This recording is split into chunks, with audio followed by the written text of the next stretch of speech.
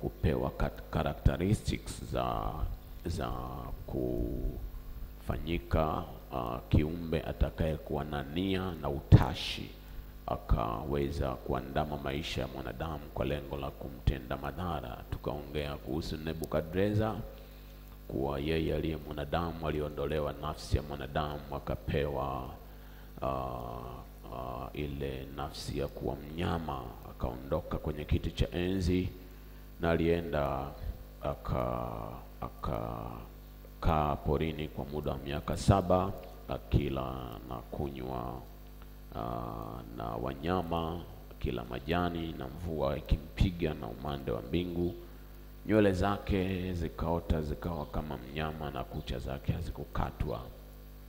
Lakini ndivyo unavyoweza kuona baadhi ya maandiko yanayoashiria uh, kama Ezekiel anavyotueleza, mwanadamu huweza kupewa moyo wa nyama na anaweza kuwa na moyo wa jiwe, na baadhi ya maandiko yanayotupa kutambua kile tunachoweza kuita maisha ya mtu inayoweza kuwa projected kama maisha ya Lutu na familia yake.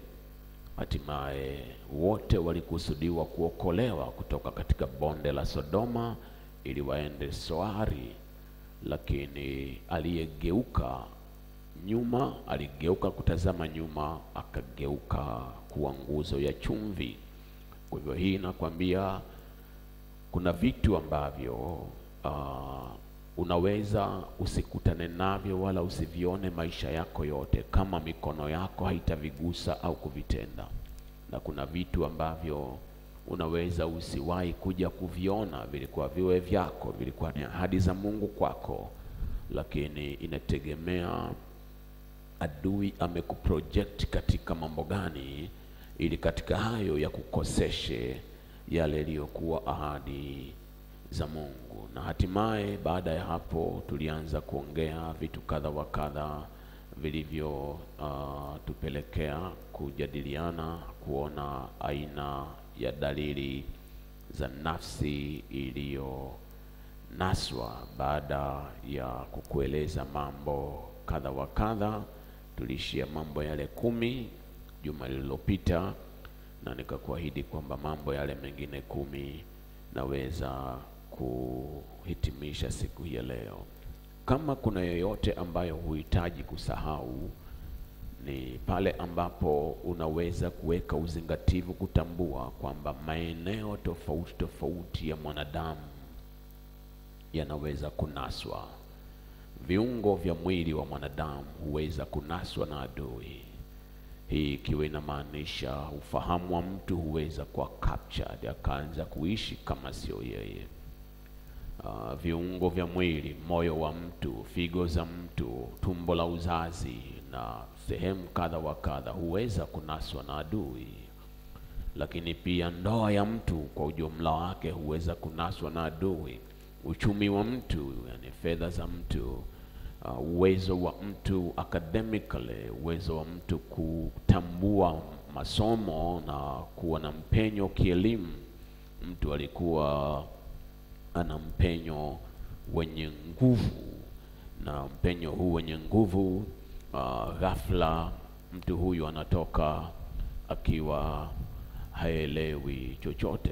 Moja ya siku mama alikuja alikuja uh, ofisini akanishirikisha habari ya mtu uh, uh, uh, kanishirikisha habari ya mtu aliyekuwa na machozi mengi kwa sababu alipokuwa darasa la kwanza na darasa la pili. Ni mtu mzima sana sasa huyu huyu mama, darasa la kwanza na la pili kwenda la tatu, alikuwa very bright, ana uwezo mkubwa, anawafundisha wenziwe, anaongoza uh, kwa masomo yote. Kufikia anakwenda ngazi ya darasa jingine. Siku moja anakwenda shule, haelewi chochote. Chochote kabisa, kichwa chake kiko blank haelewi chochote, yaani hata kama ilikuwa anajua kuandika jina lake au baba au mama, haelewi. Walimu wakapigwa na shock, na yeye anarudi nyumbani akiwa analia na hakuweza kuendelea tena Suala la kusoma kwake ikawa ndiyo basi. Hii inakwambia wazi kwamba huyu hakuzaliwa akiwa mbumbumbu, hakuzaliwa akiwa hajui chochote, au uwezo wake ulikuwa eti kwamba tangu huko mwanzo alikuwa hawezi kupicture na ku na bo, lakini kuna mkono uliochukua mateka uwezo wake wa kimasomo. Anaweza kuendelea akafanikiwa katika area nyingine zozote, but in that area adui amenasa ufahamu wake. Huduma ya mtu huweza kunaswa. Mtu huyu alikuwa amekusudiwa awe mtu mkuu wa Mungu, the great man or woman of God, lakini uh, adui ameongoza maisha yake akatumbukia kwenye aina ya shimo ambalo uh, hakuna anayeweza kuja kumwondoa huko, na mara nyingi kama ni Mungu tu peke yake ndiye aliyewahi kujua kwamba wewe ni mtu wa namna gani, huduma ya mtu huweza kunaswa. Mfano mzuri ni mtu anayeitwa Samson. Wazazi wake walimweleza vema kwamba wewe ni mnadhiri wa Mungu, maisha yako hayapasi kuenenda kwa njia ile ya watu wa mataifa wanavyoenenda. Lakini Samson alijijengea marafiki ambao kwa vyovyote vile walikuwa ni adui wa kutosha kuangamiza maisha yake. Na moja ya siku Samson sio kwamba alikuwa anafanya majaribio ya kuondoa upako wake mwenyewe, lakini Samson alikuwa amenaswa socially katika kiwango ambacho yote aliyokuwa akiyatenda kupitia Delila hakuwa na ufahamu wowote wa kujua kwamba inaenda kuhatarisha usalama wake na kusudi zima la kuzaliwa kwake, kwa sababu Israeli yote ilikuwa inategemea mtu mmoja ili iwe salama. Huduma ya mtu huweza kunaswa, na adui akiinasa huduma yako anaweza kukupa mafanikio kwenye area nyingine. Fikiri watu kama kina Oral Robert duniani, kama angekuwa ni mtu ambaye amekuwa ni mfanyabiashara maarufu akafanikiwa kwenye area nyingine yoyote, ukiondoa tu kwamba okay, hajawahi kuwa na kanisa lolote, lakini yeye uh, ni, ni mtu ambaye amekuwa na huduma ile uponyaji kwa mataifa mengi kwa zile crusade zake, na ame ndio founder wa Oral Robert University. Lakini kutoka kwenye hiyo university Tazama mababa wa imani waliozaliwa kwa miaka mingi katika kizazi chote tulicho nacho. Kama ingetokea kwamba vyote alivyo navyo ndani yake vikageuka kuwa ni mtu aliyefanikiwa kwenye biashara na asifanikiwe kwenye eneo la huduma, usione tu wale waliofaidika na huduma yake, ona wale waliofaidika na wale waliohudumiwa na yeye. Shetani angekuwa amepata faida kubwa. Ndipo unapoweza kuanza kutambua ya kwamba maisha ya mtu huweza kunaswa na kunaswa. Baada ya kukutajia nani hao wanaokusudia kunasa maisha ya watu, uh, nataka leo upate kuzingatia na kwenda kueleza mambo yale kumi yaliyosalia, lakini kama kuna maisha ambayo inakupasa kuwa makini nayo ni uadui ambao unajifanya kuwa rafiki. Maandiko mawili ya nyakati za Nehemia na, na Ezra yanaweza kutuongoza mahala fulani. Tupatie Nehemia sura ya pili, tupatie Nehemia sura ya pili. Hebu anzia kama mstari wa sita hivi. Uh, nataka upate picha fulani ya mtu anayekuwinda lakini anajua kwamba uwezo ulionao ni mkubwa na hawezi kukukabili kiwepesi. Anachagua awe rafiki kwanza. Mfalme akaniuliza, malikia naye ameketi, ameketi karibu naye. Hii ni habari ya Nehemia, tunaelewa yuko Shushan Ngomen, ameamua kufunga hali na mfalme anaanza majadiliano nayo Safari yako itakuwa ni ya siku ngapi? Nawe utarudi lini? Hivyo mfalme akaona vema kunipeleka, manake uh, ni kumsend off, nami nikampa muda. Endelea. Tena, nikamwambia mfalme, mfalme akiona vema na anipe nyaraka kwa maliwali walio ng'ambo ya mto, ili ili waniache kupita mpaka nifike Yuda. Maana yake hapa mfalme akimpa ruhusa, nenda. Huyu ndio mnyweshaji wa mfalme. Wakati akikupa ruhusa kama mnyweshaji, nenda. Lakini ni nani ajuaye kwamba unaweza kwenda kwenye jimbo mojawapo la tawala na ufalme wa Babeli? Huyu mkuu um, wa jimbo akaachia majeshi akasema, huyo asipite hapo mpaka waraka utoke kwa mfalme kuthibitisha hicho anachokisema kuwa ndicho kilivyo. Nipewe na waraka wa Asafu mwenye kuutunza msitu wa mfalme, ili anipe miti na kufanyia boriti, miti ya kufanyia boriti kwa malango ya ngome ya nyumba na kwa ukuta wa mji na kwa nyumba ile nitakayoingia mimi. Naye mfalme akanipa. Bwana na akupe wewe uso wa kibali na yale uyatakayo upewe. Kwa nini alimpa? Biblia inatueleza sababu pale, kama mkono wa Mungu, kama mkono mwema wa Mungu wangu ulivyokuwa juu yangu.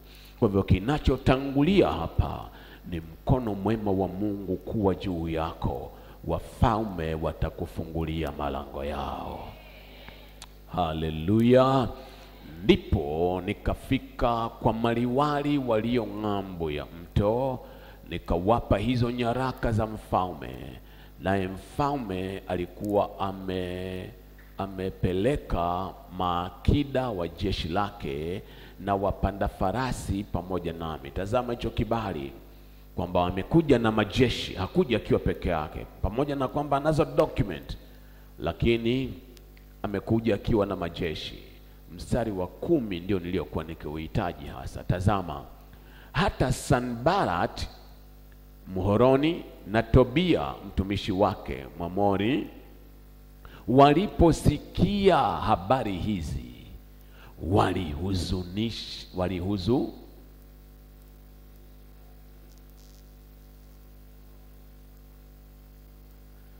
hiki Kiswahili hapa sijakielewa.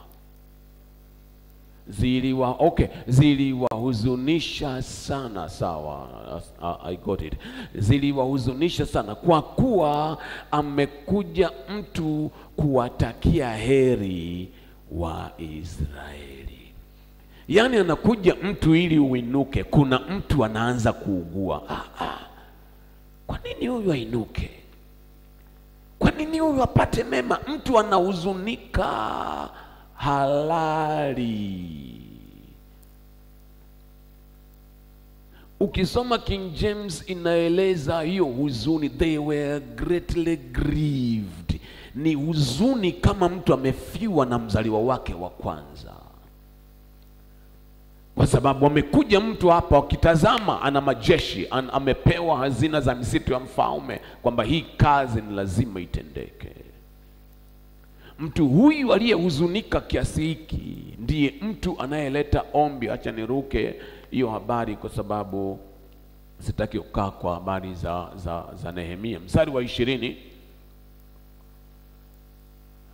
hata Sanbarat Mharoni na Tobia mtumishi wake no, ndipo uh, ndipo nikawajibu nikawaambia, Mungu wa mbinguni. Hebu rudi mstari wa kumi na tisa. Lakini waliposikia Sanbarati Mhoroni na Tobia mtumishi wake Mwamoni na Geshuri Mwarabu walitucheka wakatudharau, wakisema, ni nini neno hili mnalofanya? Je, maasi mtaasi ninyi juu ya mfalme? Ndipo nikawajibu nikawaambia Mungu wa mbinguni yeye atatufanikisha. Kwa hiyo sisi watumishi wake tutaondoka, maana yake tutasimama pale, tutasimama na kujenga, lakini ninyi hamna sehemu wala haki wala kumbukumbu katika Yerusalemu. Kuna watu, kuna roho unahitaji kuzihukumia hukumu hii. Na walipoanza kujenga watu hawa, baadaye wakaja kutuma ujumbe wakisema, acheni tuungane, tufanye amani, tujenge pamoja na ninyi. Nehemia alitoa majibu ya maneno haya haya kwamba ninyi hamna kumbukumbu, kumbu, hamna sehemu, hamna fungu katika Yerusalemu. Ezra sura ya nne. Ezra naye utaelewa katika mtiririko wa safari ya kurudi kutoka Babeli, aliyetangulia kurudi alikuwa Ezra. Walirudi wakiwa makundi makundi, kina Ezra, kina Yoshua kuhani mkuu, kina uh, Hagai manabii walikuja mwanzo. Nehemia alikuja kushughulika na ukuta wa mji, wakati Ezra alipokuja alikuja kushughulika na hekalu la, la watu kuabudu. Haleluya! Ukuta wa mji ni ngome ya kuzunguka mji wote, na wakati Ezra amekuja, wao vita yao hasa ilikuwa inahusisha hekalu. Tupatie kwanza mstari wa pili, wa tatu, wa nne hivi, nadhani itakuwa imetosha. Nataka tuende kwenye point za leo na tuingie kwenye maombi.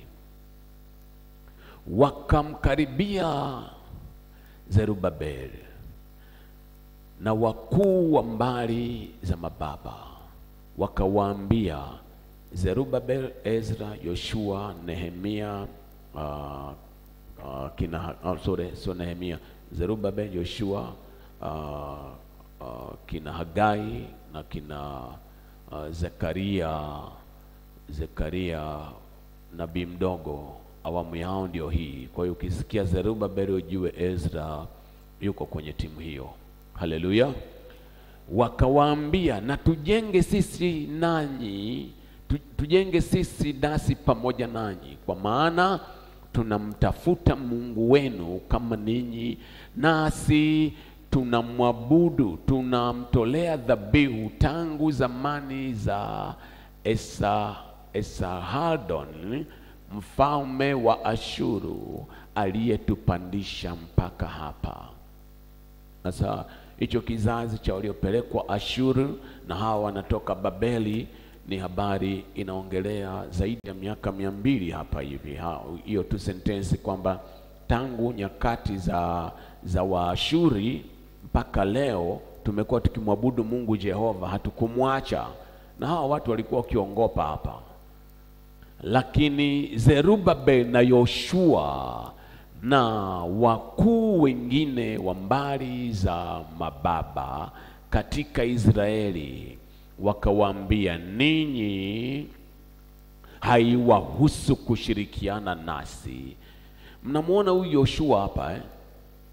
Sio Yoshua wa kitabu cha Yoshua. Unaposoma Zekaria sura ya tatu utakutana na Biblia inaongelea Yoshua kuhani mkuu aliyevaa mavazi yaliyoonekana kuwa machafu, alafu shetani akasimama mbele za Bwana pamoja naye ili ampinge, na Bwana akasema, Bwana akukemee wewe shetani, kwa kuwa huyu ni kijinga kilichookolewa kutoka katika moto. Ndiyo Yoshua huyu. Yoshua ambaye saa hii anasimama na Israeli yote, anapigana vita ya wale wanaokuja damu na nyama, lakini vita yake halisi iko katika ulimwengu wa roho. Hawa ni wajumbe tu waliotumwa na shetani kuja kuwakabili katika damu na nyama, lakini akienda katika ulimwengu wa roho anaona jinsi ambavyo shetani anataka kumwondoa katika reli ya yale yaliyokuwa ya Mungu.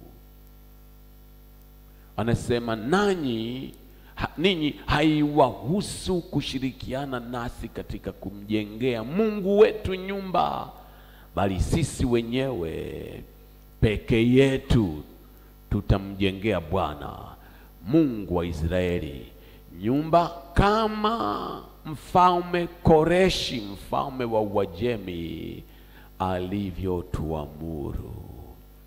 Oh, haleluya!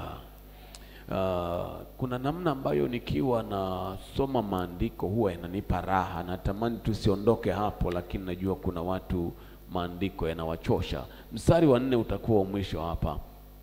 Ndipo watu wa nchi wakaidhoofisha mikono ya watu wa Yuda, wakawasumbua walipokuwa wakijenga. Hebu fikiri, watu wamekuja wakisema, tumekuja, Mungu mnayemtumikia ndio huyo na sisi tunayemtumikia, acha tujenge pamoja nyumba ya Bwana. Mkasema nyika ni pembeni, mikono yenu. Wameondoka wakaanza kuja kuwatia udhaifu watu ambao wanajenga, wanasema hakuna chochote, hakuna kujenga leo, hakuna kuchota maji hapa, hakuna kuchukua mchanga, na tutawakata na mapanga. Kama Mungu tunayemwabudu ni yule yule Mungu mnayemwabudu ninyi, kwa nini imekuwa ni uadui? Hii kwambie kwamba hawa wangeruhusiwa kuingia ndani ya timu ya wajenzi wangedhani kwamba mnaenda na wengine, kumbe wengine wamekuja wakifanya wengine kwa mawindo, wayanase maisha yao, na kile ulichokuwa unatamani kitokee kwa miaka mingi kitakuwa ni kama ndoto ambayo haitakuja kutendeka. Jioni ya leo, kama kuna kitu Mungu atakusaidia ni kujitenga na kila mtu wa mtego katika maisha yako. Maisha yako hayatanaswa. Hii ndiyo sababu walio wengi unaweza ukatambua Mungu aliwatenga watu kama Samweli kutoka kwa wazazi wake. Kwa nini? Kuna namna ambayo mtu unaweza ukaharibiwa kwa nia nzuri. Hata sielewi kama naongea kitu ambacho watu wanakielewa. Yaani watu wanakupenda, lakini upendo wao ndio unaokuua. Huyu mtoto ni Samuel. Wazazi wameomba, wazazi wamenyanyaswa, mpaka amekuwa mtoto special, mtoto wa muujiza. Unajua, huyu Samuel angekulia mikononi mwa wazazi wake, asingekuwa Samuel wa, wa sura ile ambayo Samuel alikulia hekaluni. Unaweza usielewe. Kuna wengi ambao niliongea nanyi namna ambavyo Musa alizaliwa kwamba kati ya Musa na Haruni, Miriam ndio dadayo mkubwa, lakini kati ya Musa na Haruni kuna gap kubwa. Ni kwamba wazazi wa Musa walikuwa wameshatambua kwamba mtoto yeyote atakayezaliwa akiwa wa kiume, maana yake tumezaa msiba, atauawa, ili wasije wakapata mtoto mwingine. Huyu mama alita, alilazimika aondoke aende kwao, lakini kwa namna ambavyo Mungu amekusudia kwamba ni lazima tumbo hili limzae mkombozi, ililazimika watu wakae wafanye mashauriano kwamba haiwezekani, kila mmoja yuko na mke wake, yuko na watoto wake, yuko na familia yake na wewe inakupasa ukae na familia yako pamoja, hata kama kuna hukumu ya Farao. Musa amezaliwa, ililazimu Mungu amwondoe Musa kutoka kwa wazazi wake. Mara nyingine Mungu atakutenga na wanaokupenda, sio kwa sababu anakuchukia, ni kwa sababu anakusudia usifungamanishwe na mtego utakaonasa nafsi yako ukaikosa hatima yako. Mara nyingine Mungu atakutenga na wale watakaoharibu hatima yako, ingawa wao wanaweza kuwa walikusudia yaliyo mema. Acha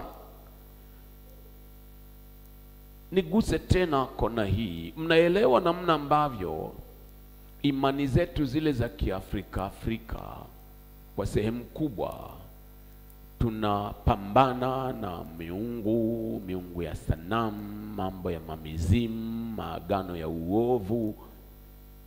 Usifikiri wazazi wetu walikuwa wanaingia kwenye yale kwa lengo tu la kutaka kwenda kutudhuru. Ni kwa sababu walikuwa wanajua kwamba hii ndio njia pekee ya kuwatendea wema watoto wao. Lakini mara unapokuja kwanza kutambua kwamba shetani alikuwa amewalaghai wakaraghaika, na sisi tunakataa kutembea under that spirit of deception. sasa inazaliwa uadui. Wakati baba anakukasirikia au mama anakukasirikia, umeacha kile kitu tulichoachiwa na baba zetu, we unajua kabisa kwamba hicho kitu kinaleta madhara katika familia. Hapa ndipo unaanza kutambua sio wote wanaonasa nafsi za watu wamekuja tu katika mission ya kunasa nafsi zao, lakini hata wao wanaweza kuwa wanatumiwa na adui kwa mission ambayo hawajui mwisho wa yote inageuka kuwa tabu kwa maisha yao na ya wanadamu wengine. Mambo gani yaliyo dalili ya nafsi iliyonaswa? Hali nikiisha kuwa nimeongea point namba tisa siku ile uh, uh, nilikuwa nikiongea namba tisa kuwa ni mtu ambaye ana mafungamano na wenzi au uh, tunawaita the former sexual partners, ambao wewe una ndoa yako, una una maisha ya kuwa na mume na mke, lakini mtu yule ambaye alikuwa ni rafiki kwako zamani na mmekuwa na mahusiano ya karibu kwa kiwango kile cha kina kama mtu mke na mume, mafungamano yenu inakuwa vigumu kwako kuyavunja.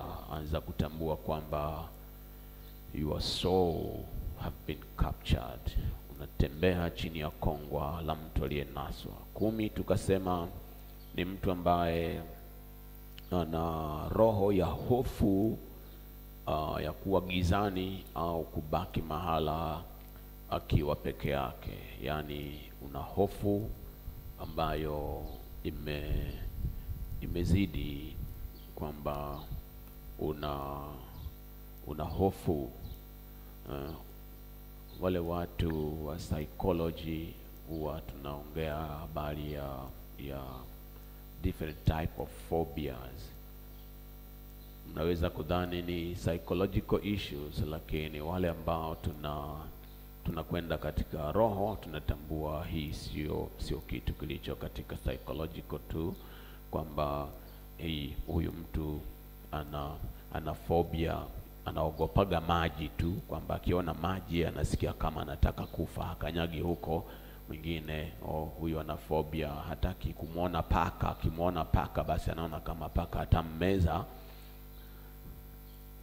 wanaweza kusema hivyo uh, wale wa field ya psychology, lakini sisi tunajua kwamba kuna roho inayo inayoyafanya maisha ya mtu yawe gripped with that satanic fear, na ukikutana na hiyo uh, hiyo hiyo hiyo hofu uh, kule kule Misri Uh, kuna kitu fulani nilikuwa nikiki nikikitazama uh, uh, ukitoka kwenye area ya yale mapiramid kuna kuna uh, aina ya mwanadamu mwenye sura ya simba uki, ukigugo kwenye kwenye kwenye uh, wale watu wa online utaona uh, the Sphinx Sphinx walimaanisha ni aina ya roho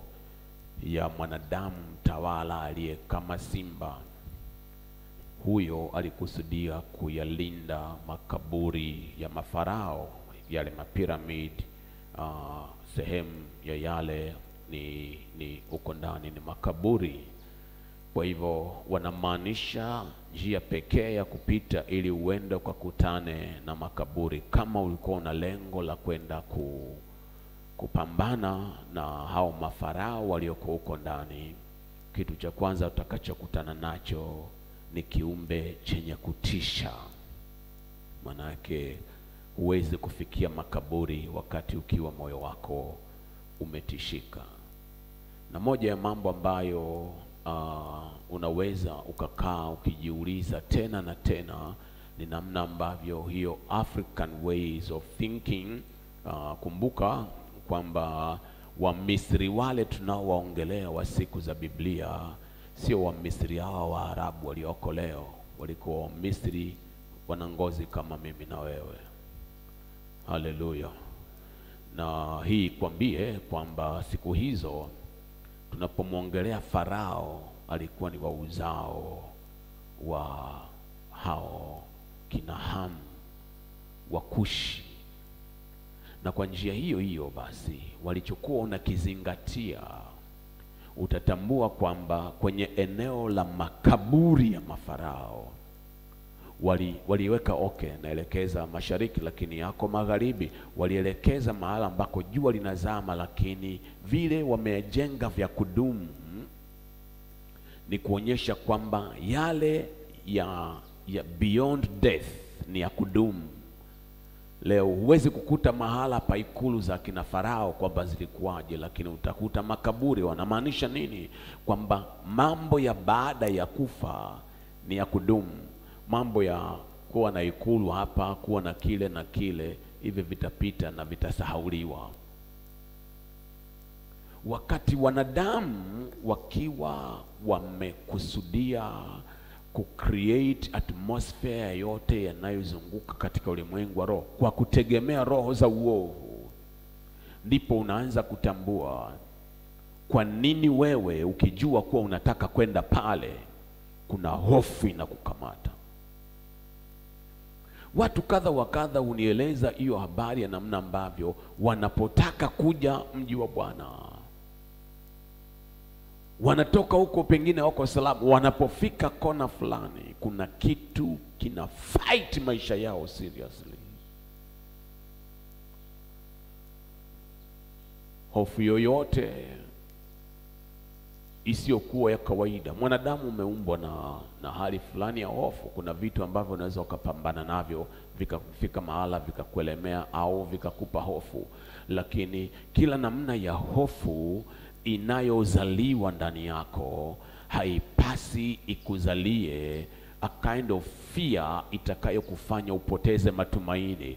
Acha chochote kinachokutisha kikuruhusu kuiachilia roho yako ndani ya Roho Mtakatifu atupae fursa ya kulia Aba Baba. Katika yeye majawabu yasiyowezekana yanaletwa. Jambo la kumi na moja, tunaongelea nini? Tunaongea ni wakati ambapo maisha ya mtu yanakuwa na ufahamu wenye kutangatanga. It's a wandering mind. It's a wandering mind, the aimless mind. Ah, hapa naongelea mtu ambaye kuna majukumu tele ya kufanya, lakini kwa kweli ufahamu wako haujatulia.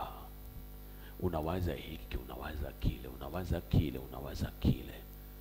Umebandika uh, sufuria jikoni, umeweka vitunguu ili ukaange, umeshika mwiko, unawaza hivi, kule Kigoma yule aliniambia ile, mpaka vitunguu vinaungua, harufu inatokea huku na eh!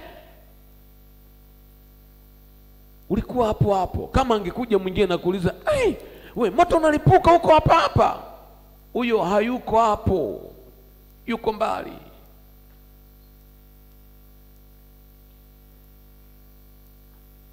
Ni aina ya mtu ambaye unatoa hivi vyombo nje, au sijui uko mahala pa karo la kuoshea, ukija kutazama saa ilikuwa saa mbili na nusu asubuhi mara imefika saa tisa na nusu umeosha vyombo sita. Unajiuliza, he, jamani, leo muda uliendaje? Uliendaje? Tulia, utafakari vizuri. Kuna mahala ambapo nafsi yako imenaswa, na kwa sababu hiyo kile unachotaka kukitenda unapita njia ndefu sana, utendi unayotaka kuyatenda. Ni mtu ambaye ufahamu wake umenaswa kwa kiwango ambacho yale unayotaka kuyatenda ufahamu wako unakimbia huku na kule na kule na kule. Usikutane na ufahamu unaokimbia huku na kule na kule na kule, alafu uko kwenye chumba cha mtihani. Ah, utatamani weka kalamu chini uondoke. Ufahamu unaotangatanga ni ufahamu unaotangatanga ambao wakati mtu anakueleza jambo moja, we unasikia vitu tofauti kabisa na saa ambayo mnaenda ili mwanze kutekeleza. Huyu atakayotekeleza na vile ambavyo wewe ulikuwa umemweleza, utajiuliza hivi, huyu kwa nini ana makusudi namna hii? Si nimemwambia a b c, ana nini huyu? Ufahamu wake ulikuwa hauko sawa. Unachotakiwa kutambua hapa ni kuanza kumsaidia anasuke katika nafsi iliyonaswa. Usipambane na mtu ambaye ufahamu wake unakimbia huku na kule na kule na kule. Niliwaambia, ilikuwa ni wiki iliyopita juu ya binti yetu mwingine hapa, ilikuwa ni programu ya Januari ya, ilikuwa ni siku ya mwaka mpya tulikuwa na programu ndefu hapa, matangazo yote yakatoka madhabahuni. Yeye akasikia siku ya mwaka mpya watu tutakuja hapa saa tisa. Saa tisa watu wanatoka, yeye ndio anaingia na wanamuuliza hey, unaenda wapi? Nikasema swali ilikuwa wangemuuliza unatoka wapi, hata na wao wamechanganyikiwa, manake unatoka wapi saa hizi kuja mji wa Bwana. Wanamuuliza unaenda wapi, na wanaona anakuja mji wa Bwana. Kuna kitu kinakuambia vitu tofauti, kwa sababu ufahamu wako unatangatanga. Weka mkono wako wa kuume juu ya kichwa chako, sema e Bwana, kwa roho iliyotulia ndani yangu nakataa kuwa mateka wa mkono wa awaye yote. E ufahamu wangu, pokea pumziko, pokea uwezo wa kutulia katika jina la Yesu, katika jina la Yesu, katika jina la Yesu, amen. Hii ndio maana mara nyingine huwa nina ninasikia taabu hata ku, kule ku, kuwasikiliza baadhi ya wahubiri ambao huwa uh, wao huwa hawana, hawana contents zilizo systematic, kwa sababu huwezi kutafakari kila kitu kwa siku moja. Huyo mtu akianza kuhubiri yani hakuna theme na hakuna dondoo, lakini hawanyamazi. Anaweza akaongea hapa masaa matatu na kila anachoongea utakifurahia, lakini sasa havina connection eh? na yeye ndio yuko hivyo, na wengine ni, ni watu wako, ni watumishi wenzangu, tuko pamoja, tukikaa mezani wanajieleza, we huo una consist kwenye theme, si tunataka kutembelea kote. Sema eh, ana, ana namna yake ya kukubariki lakini nataabika saa hiyo, kama nikitaka kuandika na tafakari tafakarije? Saa hii nataka kufocus kwenye kitu, nafsi iliyonaswa inanaswa na nani, inakuwa na tabu gani, na jinsi ya kunasuka iweje? Lakini saa hii tukianza kuongea habari ya siku za mwisho, tukaongea habari ya dunia ya sasa ilivyo, tukaongea kwa nini Wayahudi wa wanamiliki sehemu kubwa ya utajiri wa dunia, tukaongea na kila kitu tutakachoongea ni kizuri, lakini hatimaye utaona kwamba ah, ah, kuna kitu ambacho tutaongea ingawa ni kizuri, lakini hakikuwa kabisa kwenye, kwenye ajenda ya Mungu kwenye kutafakari pamoja nasi. Acha nikwambie, watu ambao tuna tuna discipline ya kiwango kikubwa katika uwepo wa Mungu, mara nyingine huwa kunakuwa na vitu ambavyo vinatutisha ambavyo haviwezi kumtisha mtu mwingine yoyote. Kwa sababu ni rahisi sana kuongea mambo yaliyo sahihi kwa asilimia tisini na sita. Na asilimia nne ikawa umepoteza mwelekeo, na ndani ya asilimia nne ukiachilia mishale ya kuwasukuma watu waende kutekeleza, watu wameanza na Mungu sawa for 96%, na hiyo asilimia nne itakuwa ni deni lako la milele mbele za Mungu. Utalipa nini kwa roho za watu? Kwa hivyo ni ili kusudi uwe salama kutoka Januari mpaka Desemba, kwa kila unayekutana naye na kila unaposimama na kila unachokifanya, ni lazima uwe na roho iliyotulia ndani yako. Unajua, ndicho Daudi alichomwomba Mungu eh? Saa ile Mungu Nathan anasema kwamba wewe ni mtu wa kufa Daudi. Mungu amekupa ufalme, Mungu amekupa wanawake unao wengi, kama wasingekutosha angekuongeza, ukachukua mke wa mtu ukamuua, unastahili kufa. Daudi angekuwa na roho iliyotulia ndani yake kabla hajazurula juu ya juu ya ya ya jumba lake la ghorofa ili atamani mwanamke asiye mke wake. Saa ile angejua kwamba sanduku la Mungu likiwa liko vitani, mimi natakiwa kuwa vitani. Hiyo ni roho iliyotulia. Kwa kuwa na ufahamu unaoenda huku na huku, unaweza kuwa mahala ambapo unaoyafanya ni mema na kuna watu wanakupongeza au kuna watu wanakuchochea, endelea, lakini umeachana kabisa na kalenda ya Mungu katika maisha yako. Mungu na akupe ufahamu uliotulia ndani yako. Ni ufahamu uliotulia utakaovutia watu wengine wenye ufahamu uliotulia, na ufahamu uliotulia utakuepusha na mikono yako kutoa nguvu zake kuwasaidia adui kwa lengo la kutenda wewe madhara. kumi na ngapi? kumi na mbili. Mtu mwenye nafsi iliyonaswa huwa anaweza kubeba tabia ya wanyama au viumbe wa namna fulani. We ni mwanadamu, lakini hatimaye kuna watu watamwita huyu mbwa tu. Kwa nini? Kuna characteristics za mbwa ziko ndani ya mtu huyu.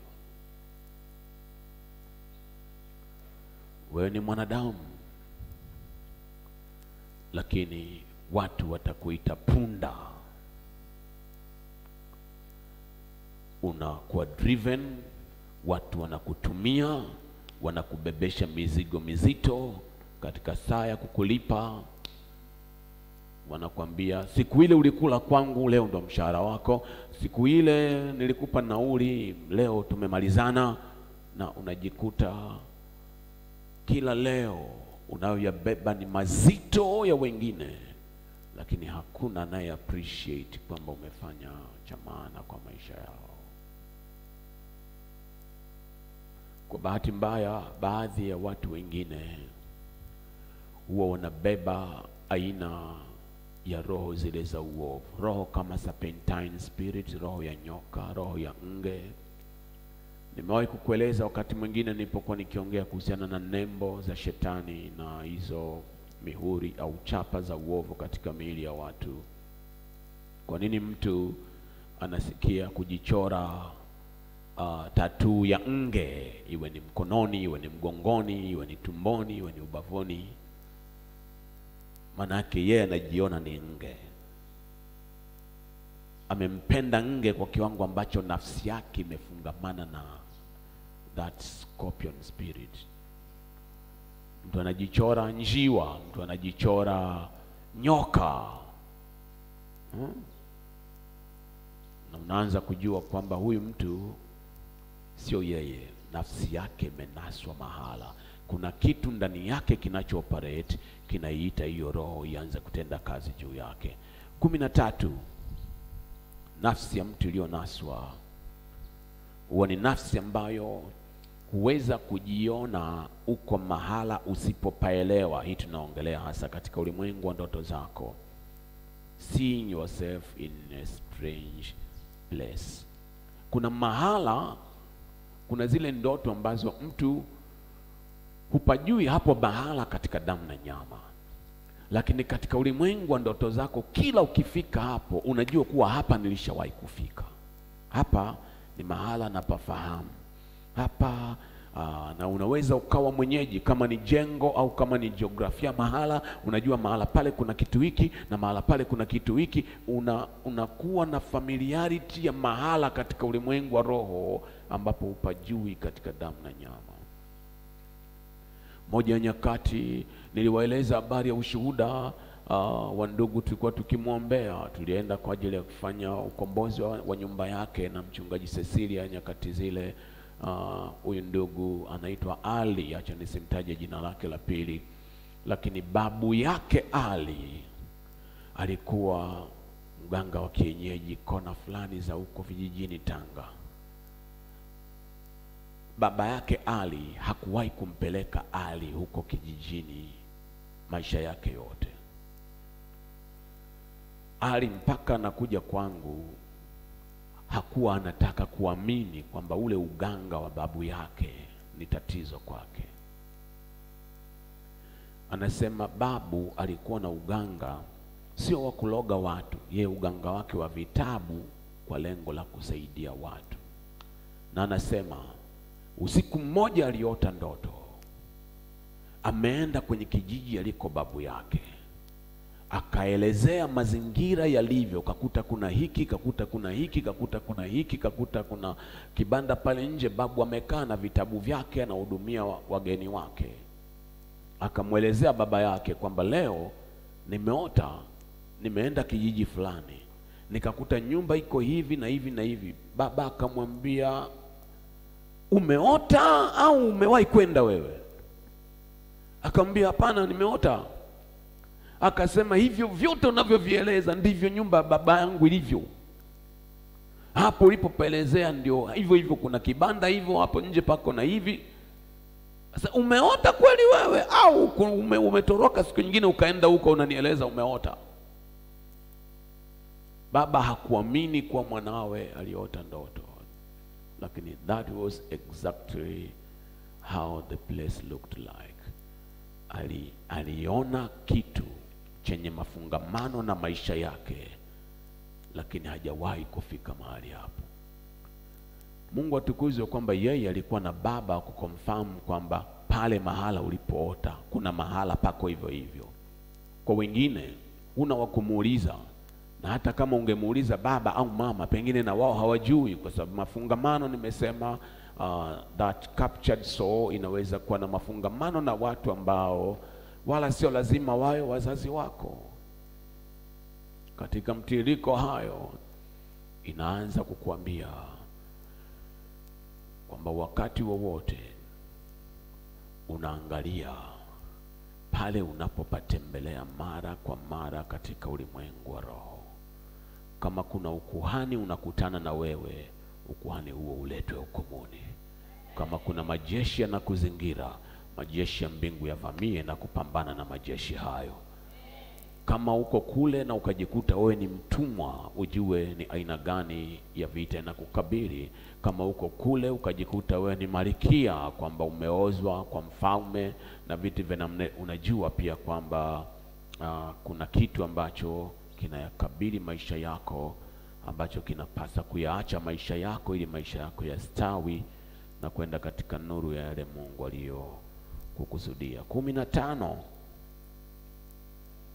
oh, ni kumi na nne uh, ni pale ambapo maisha yako uh, mtu mwenye nafsi iliyonaswa ni mtu ambaye maisha ya mtu huyu hayawezi kufanikiwa chochote bila ya mtu fulani. Yaani, kuna aina ya watu ambao si huwa unajua, kuna aina ya watu ambao kwamba kama fulani hayupo bora mimi nife hmm?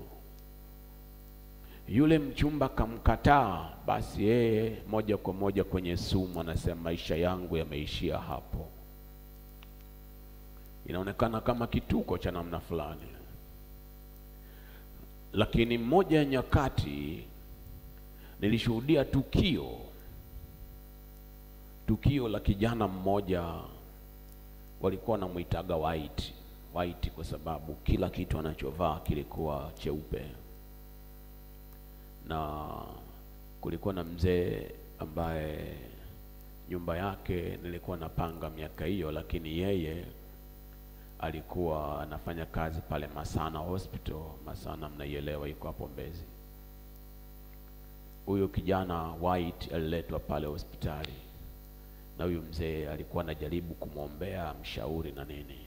Huyu kijana amekunywa sumu, na nini kilitokea kilichomfanya anywe sumu? Ni kwa sababu kuna ajali imetokea Morogoro, dada yake huyu kijana white akafariki. Alipofariki huyo hiyo habari ilipokuja, gari nyingine walikuwa na mradi wa pamoja wa maduka na vyombo vya usafiri na dada yake.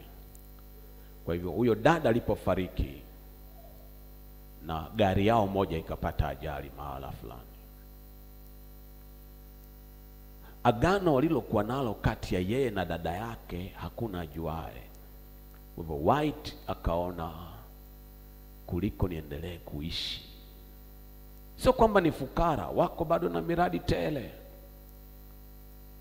akaona mimi siwezi kuwa hai kama yule dada amekwenda.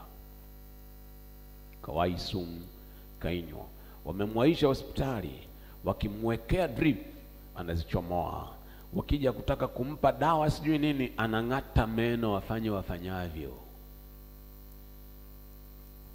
Waiti walimzika.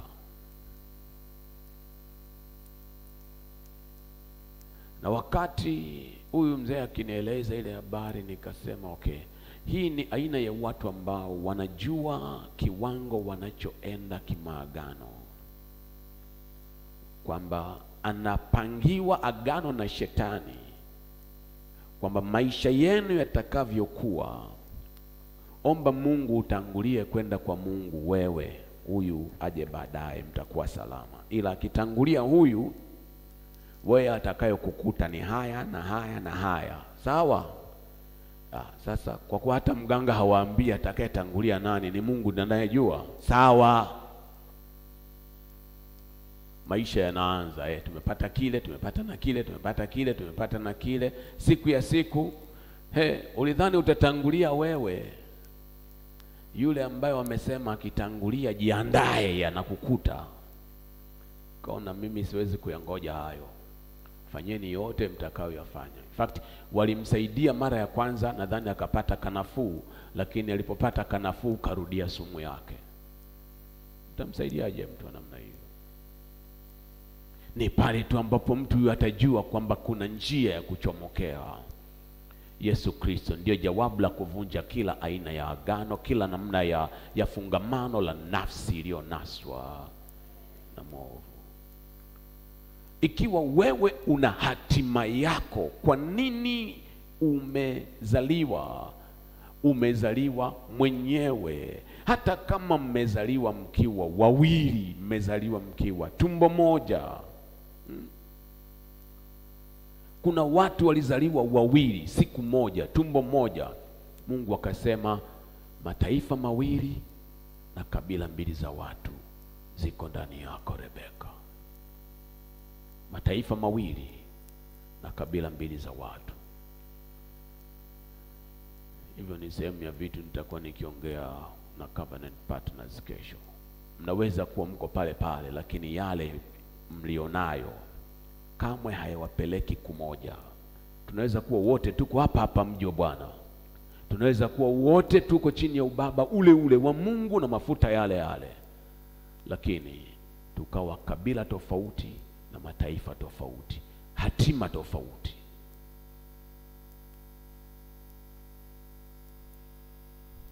Haleluya! Hii haina maana kwamba uh, wengine wanakuwa wameokoka kidogo, wengine sana. Uh-uh. Hii ina maana tu strategically positions ziko tofauti. Mnaelewa, watoto hawa wawili walizaliwa kwa maombi ya Isaka na Rebeka. Kwa hiyo wote walikuwa ni majibu ya maombi, lakini majibu ya maombi yalipokuja duniani, hatima yake shuhuda zilikuwa tofauti. Mungu na akupe wewe fungamano la watu walio sahihi.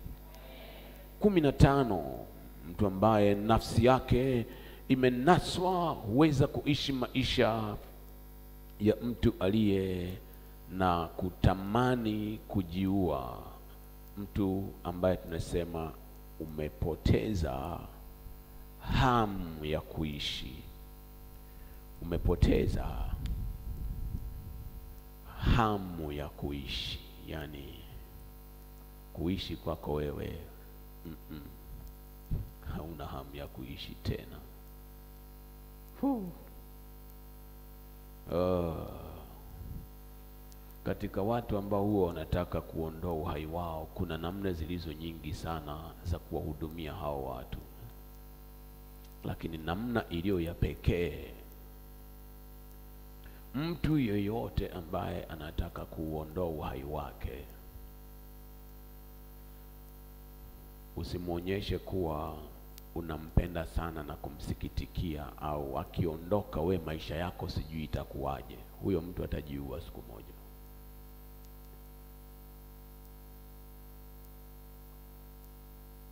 Tuko pamoja bwana? Kuna watu wame, adui amewasukumia hiyo roho ya mauti, na kuna watu ambao huwa wanajisikia kuwa wamechoshwa na maisha. Tulikuwa tukiongea na mama kumsaidia moja wa binti zetu, uh, sijui kama ilikuwa ni Januari au ni Februari, tungekuwa na msiba mwingine hapa. Usiku ule sikulala, niko hapo kwenye carpet, nataja jina lake, wewe usife, wewe usife. Mungu kamrudisha, amekunywa sumu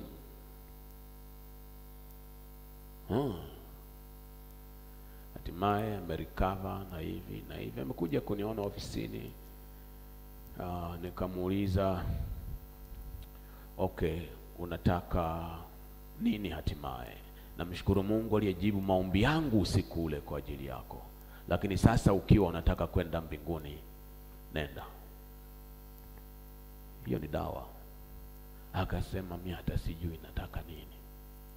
Hapa unajua kwamba kuna kitu bado sio yeye, kwa sababu huyu mtu kuna kitu kinamwelemea. Nini? Ana deni. Kideni ukiambiwa, tukamcheka na mama, tukasema kuna watu wana madeni wamekaa hapa wametulia. Nikamwambia, yaani kama kama ningeweza kuwatolea mmoja hapa, huwa ananifurahisha mwaka ule amesema nyumba yake ilikuwa inapigwa mnada, yeye anachomoka kutoka nyumbani anakuja kanisani, mvua inapiga ya maana, mpaka hapa tunasali kwa shida. Kumbe mvua inasaidia binti yetu nyumba yake isiuzwe, mnada umeharibika. Kakopa milioni arobaini hazikumsaidia, kakopa milioni themanini hazikumsaidia. Wengine wakaja wakasema tulipe ya kule, tukope milioni mia mbili hii, akasema saa, wakachukua milioni mia mbili wakatoroka nazo.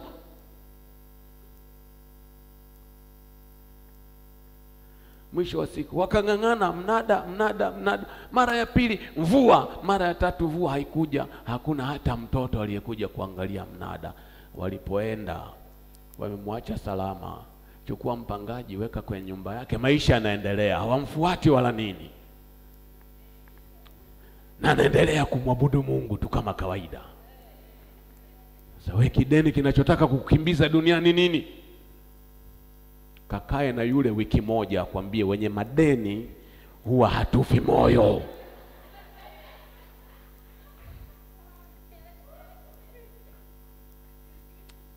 Haleluya!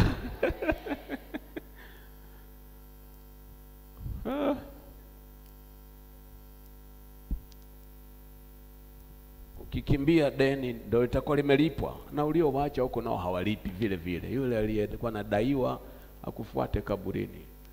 lakini saa hiyo deni utakayoikuta huko, utaomba maombi ya yule tajiri, tunaoita maombi yaliyopitwa na wakati. E Ibrahimu baba, naomba mtume Lazaro aende kule duniani, akawaambia wale ndugu zangu watano wasije wakafika hapa. Ye hawezi kurudi huku, na Ibrahimu hamtumi Lazaro. Ibrahimu akaambia wawasikie kina Manase kule wanaongelea habari zangu, nikituma mtu huku hawatamwamini. Si hata Yesu alifufuka, kwani wanamwamini? We umemwamini, lakini wengine hata kufuka kwenyewe hajafa yule, ila alipaa, ila hajafa. Kwa nini? Why is all these contradictions? Ni ili uonekane umeshika kitu kilicho kinyonge, au kwa namna yoyote alikufa kwa ajili yako wewe, hakuna kitakachokuwa. Haleluya! kumi na sita ni aina ya mtu ambaye watu hawakuamini. People cannot trust or believe you. Unajua kuna watu ambao huwa wana ni waaminifu but they cannot be trusted.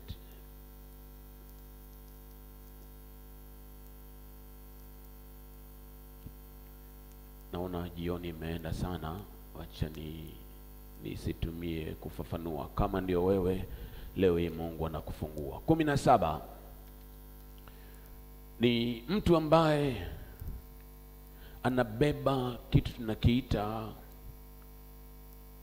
the vagabond anointing, roho ya mtu anayetangatanga, hana makao duniani, na huyu mtu mara zote huwa ana operate chini ya roho iliyo mnasa. Kuna aina ya watu ambao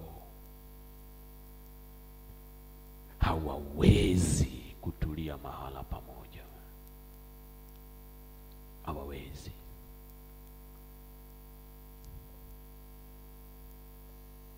Na maisha yao kila wanakoenda, kila waendavyo, huwa ni aina ya watu ambao hawawezi kuhesabu chochote kilicho cha maana mikononi mwao.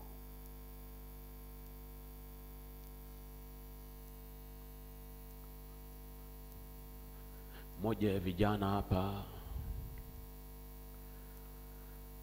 amekuwa akija kwa maombi na maombezi, amekuwa na na mtiririko wa kuitikia na kujifungamanisha sana na mji wa Bwana, lakini ni mtu anaye anaye operate under this spirit of vagabond.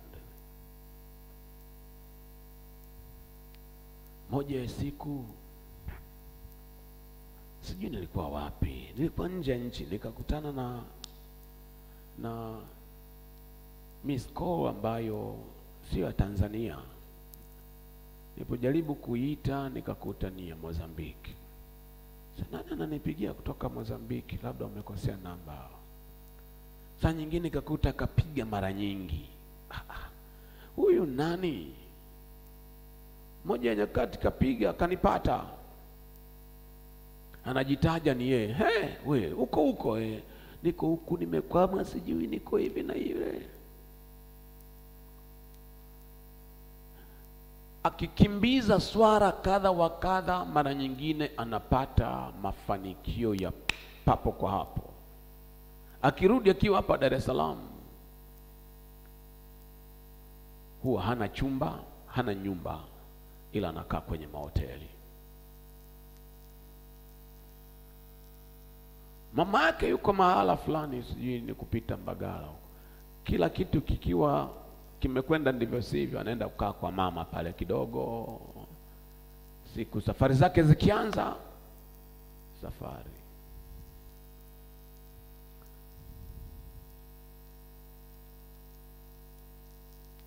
bahati yake mbaya, alikuwa na chumbia moja ya binti zangu hapa, na mimi nilivyo hatari, nikauweka on hold ule uchumba kwa miaka miwili. Najisifia kwa hilo. hata sijui unapiga makofi ya nini.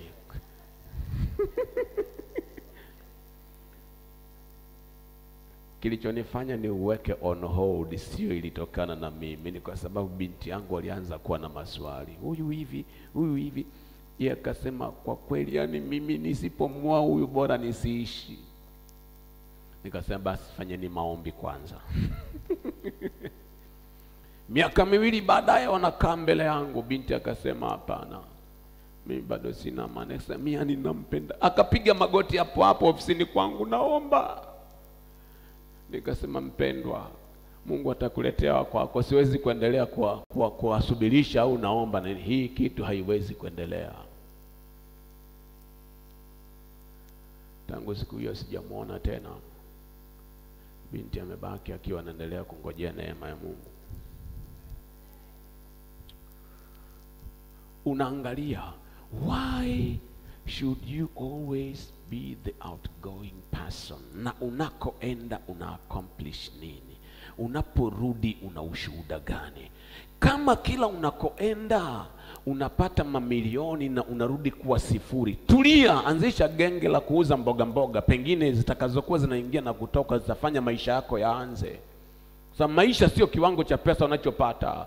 Maisha ni aina ya network unayoijenga, kwamba hatimaye unapokwenda kutimiza maisha yako, kwamba sasa umekamilisha maisha yako na kusudi kuletea Mungu duniani, utakuwa na vitu vya kushuhudia kwamba kuna one, two, three, Mungu amenisaidia kutimiza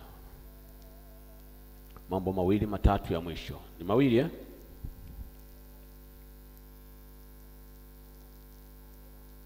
ya ya kumi na nane ni kama nimeshaiongelea mara zote. Mtu huyu huwa anavutia au anavutiwa na watu wasiokuwa sahihi. You are always attracting or attracted uh,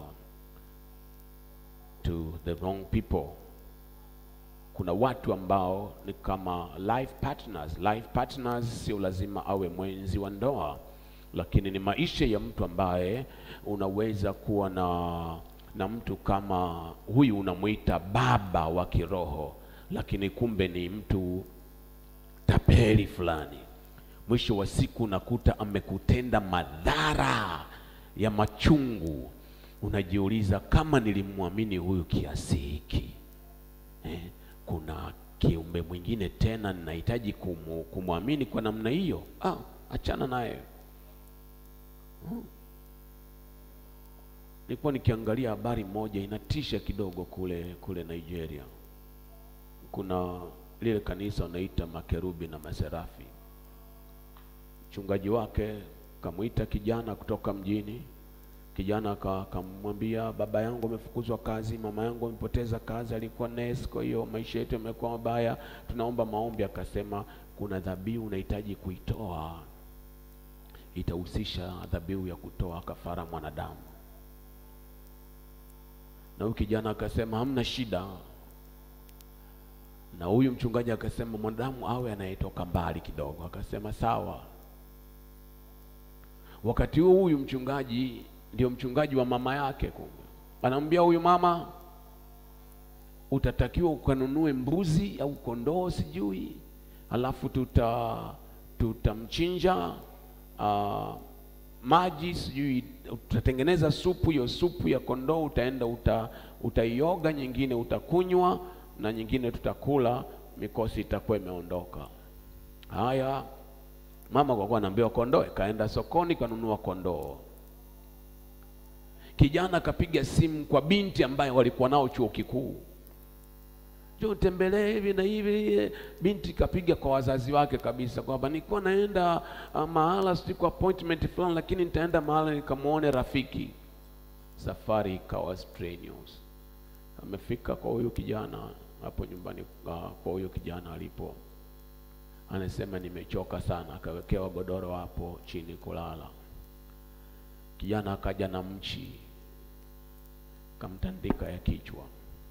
Mchungaji kaja, wakatumia sijui nyama ya mikono na kichwa na miguu na nini ku, kuichoma mpaka ikawa majivu, wakatengeneza unga unga wake, ndio wakatengenezea yale maji aliyoenda kuoga yule mama, na yule mama hakujua kula supu aliyokunywa ya yule mbuzi, nyingine imechanganywa na huyo binti wa watu.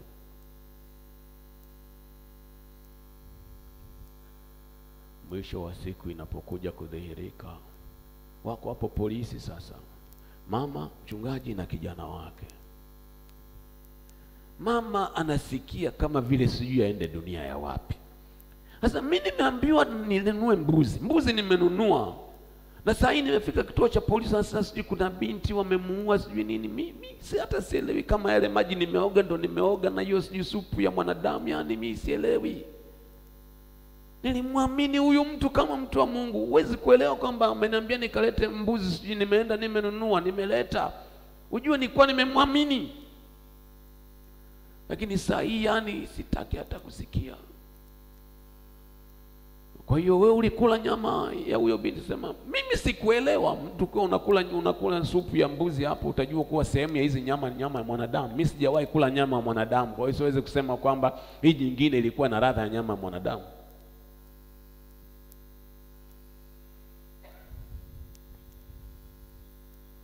Unavutia watu wasiokuwa sahihi, mpaka wale wa kukushauri uende katika njia iliyo sahihi, una unachagua wale ambao watakutupa jehanamu zaidi. Kuna roho inasema huyu hatakiwi kuwa sahihi.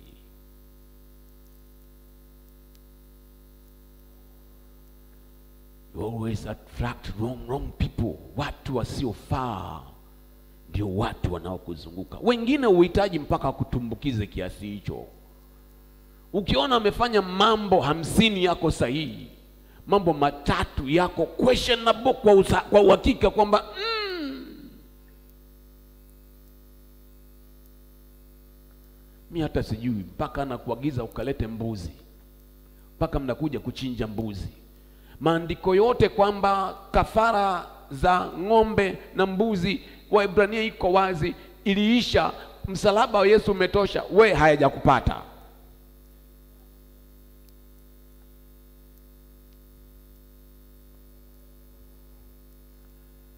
unaenda unanunua mbuzi, mnakuja sasa. Hiyo sasa, hiyo kafara ya mbuzi anayepokea Mungu Baba, Yesu Kristo.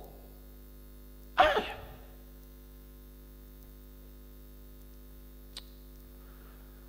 Ah, hii dunia saa ile unasikia kuna mzazi hapa amepoteza binti yake, amemgharimia binti, ndio kwanza ana graduate kuna mtu mmoja muhuni anakuja kutoa wazo watu watoe kafara ya mwanadamu, na kule kuna kondoo anatolewa. Alijua huyu anachokifanya, alijua anachonena kwa mwanawe ni kitu tofauti, na anajua anachokiongea kwa mzazi, mama ya mtu, ni kitu tofauti. Wangemwambia kwamba kuna kitu kingine tunafanya, tutachanganya, hiyo mission ingefia hapo.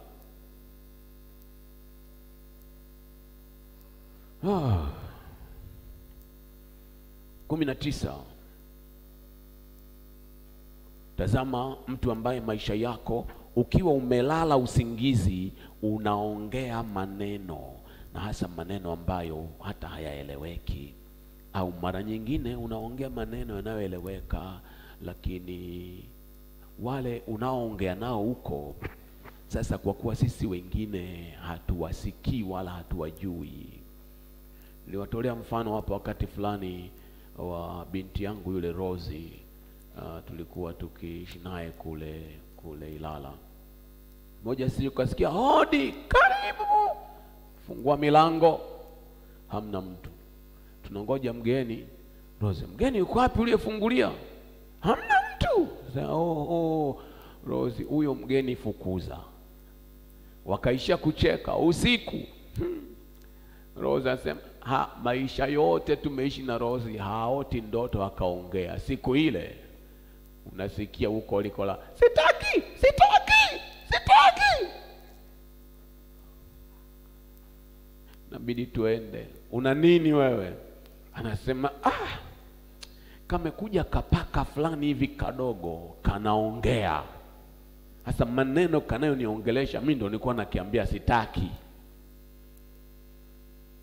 Paka anaongea Haya, amka, fukuza huyo mgeni. Kaamka, fanya maombi ya kufukuza huyo mgeni, tuka anoint mahala anapolala, na si ndio tukalale tumepumzika. Sikutane na mtu anapiga kelele mpaka mpaka nyumba yote ya jirani watu wanaamka, alafu we udhani kwamba uh, ilikuwa ni kitu ya kawaida. No, sio kawaida. Unaamka, unakaa, unaongea. Uliacha kile kinanda pale, unakibeba, unakihamisha, unaweka kule, unarudi, unalala. Asubuhi kuna kucha, unajiuliza he, nani alihamisha kile kinanda?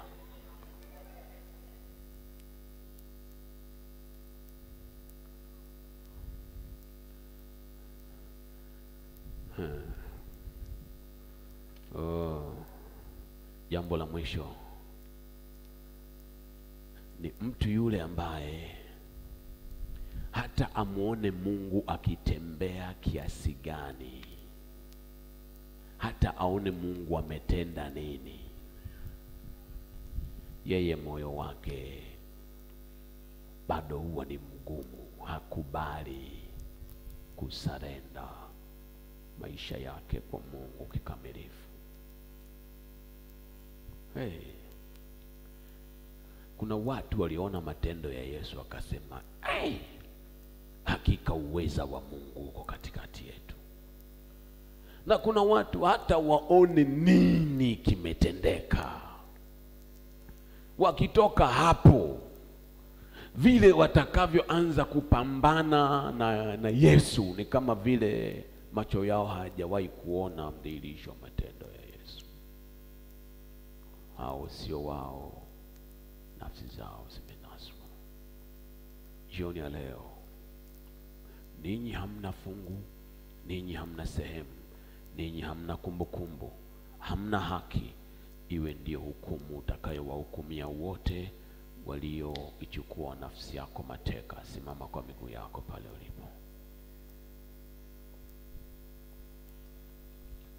Simama kwa miguu yako pale ulipo. Hili ndilo ombi lililo lenye nguvu kabisa nalotaka tuliombe jioni hii, na Mungu akasikie maombi yako na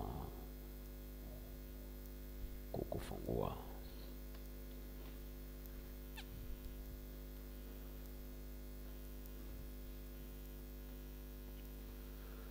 Jibana Oh, hallelujah, Lord. Jimonage kakato tititerema. Hallelujah, Lord.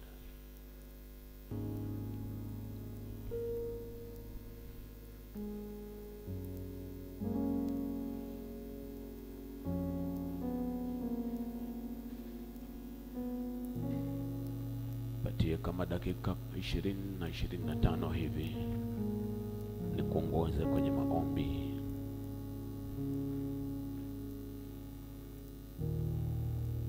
ya moja kwa moja yatakayokuleta wewe mahala pa kuondoka mahala popote pa mtego wa yule mwovu. haleluya Thank you Jesus.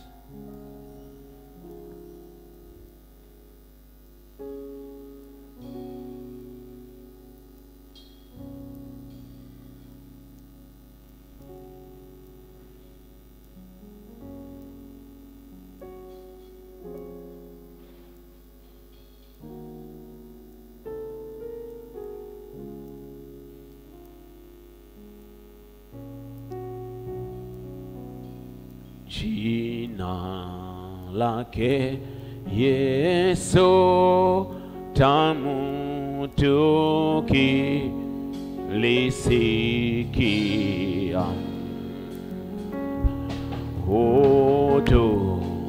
hutupoza tena hamu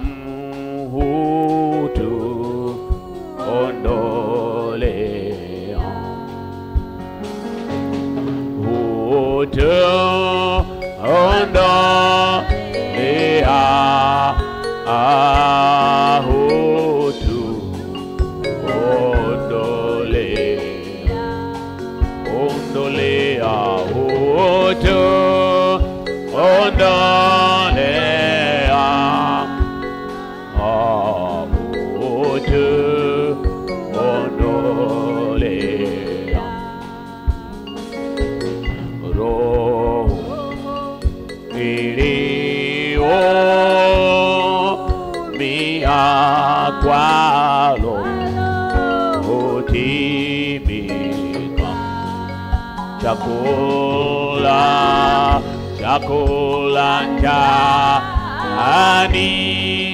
pia raha tukicho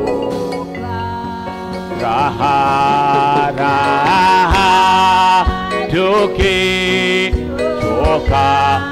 haleluya raha tukichoka raha raha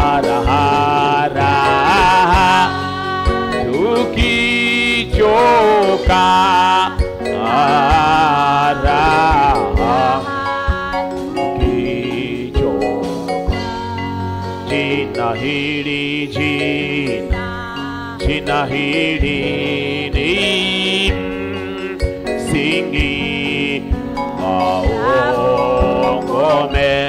mwamba kwa hili inapata wingi kwangu ni haki kwangu kwangu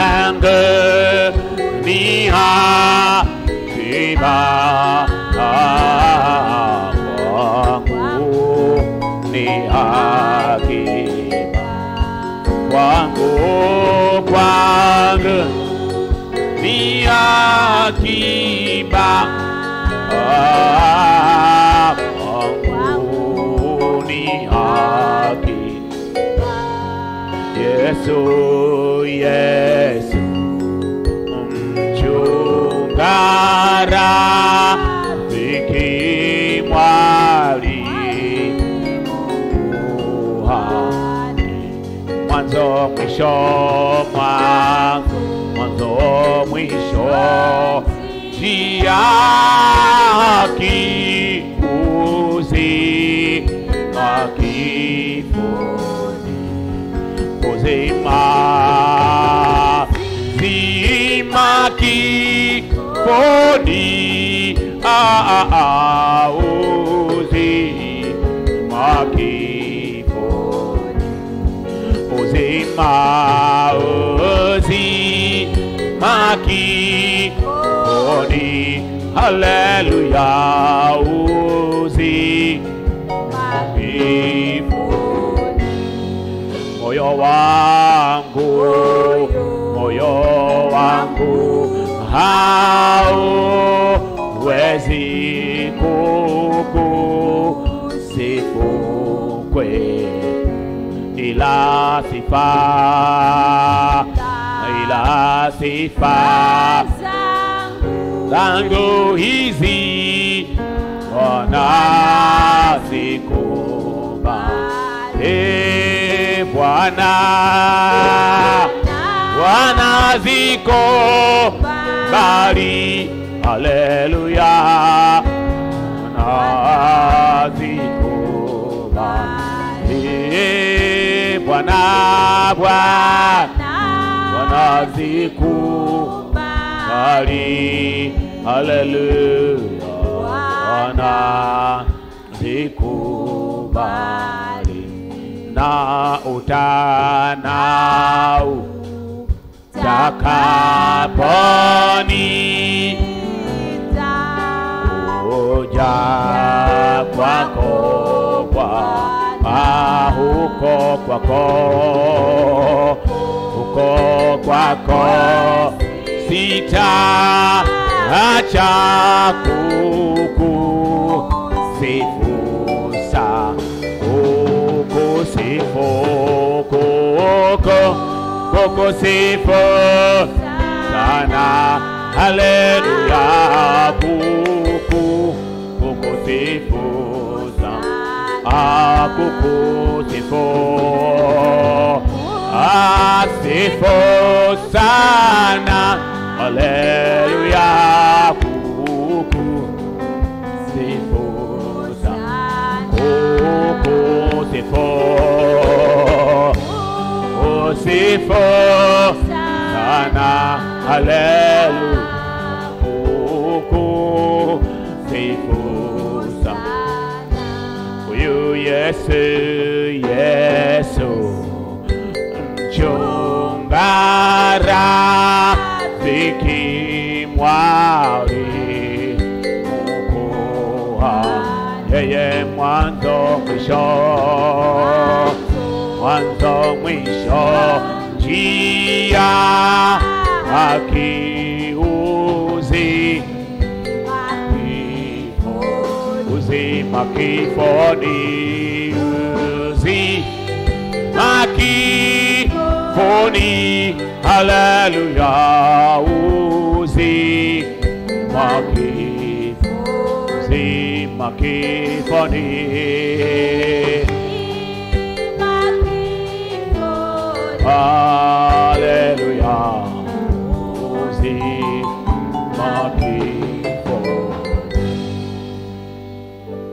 Msingi wa sauti yake unasimama katika kweli hii ya kwamba yeye anawajua walio wake. Ni mojawapo ya mambo lazima iwe imethibitika ndani yako, au wewe umekuwa mateka wake.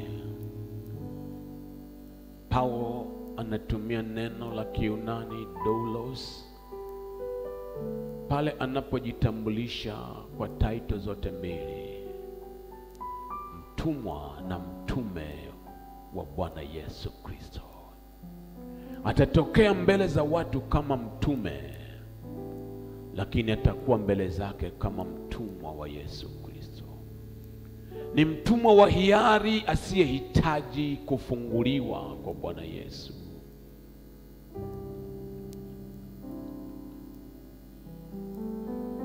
Ndivyo naweza kuona maneno ya mtume huyu mwenye nguvu na uwepo wa Mungu juu yake yanaazimwa na mtu wa utunzi wa utenzi anayesema, uje unisaidie, Mwokozi wa baraka, rehema zako ni tele, nikutolee sifa. Unifundishe kusifu sifa za malaika,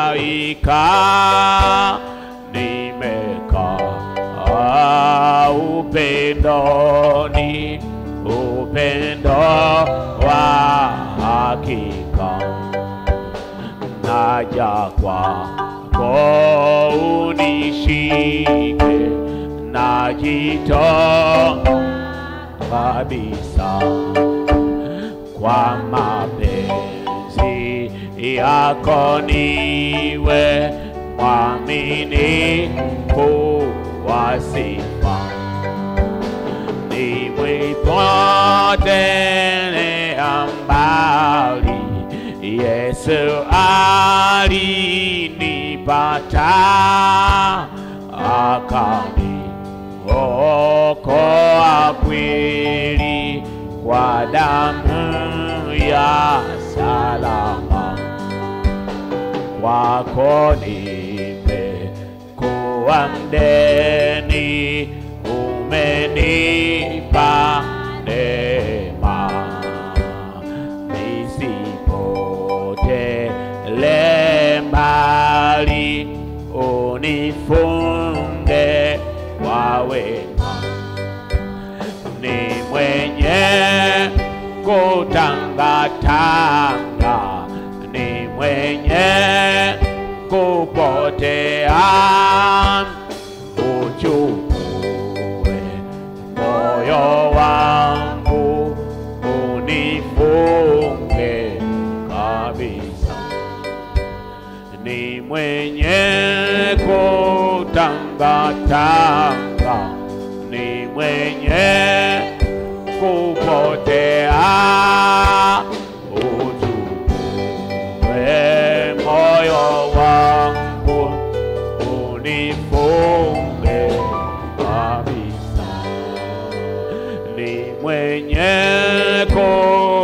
kutangata ni mwenye kupotea.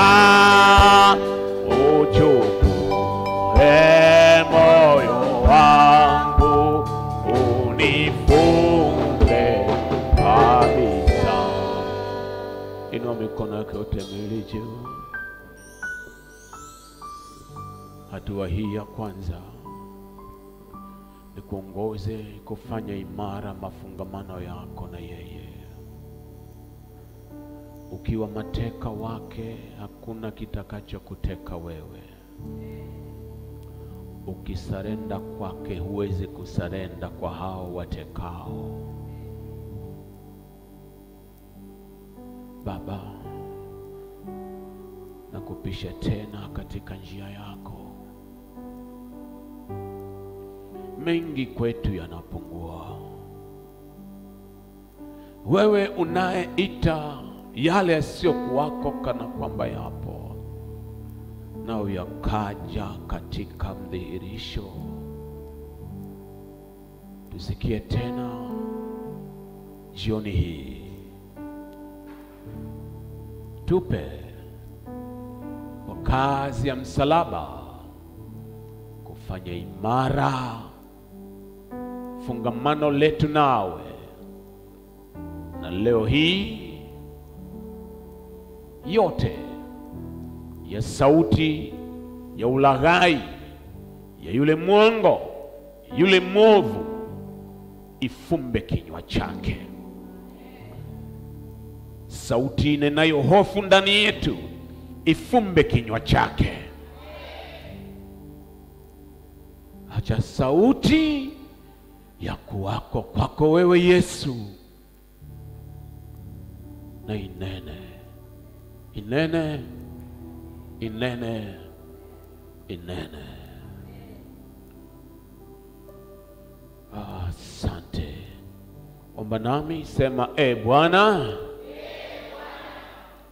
wanijua vema, ni wewe uliye Alfa wa maisha yangu yote, na ni wewe uliye Omega wa maisha yangu yote.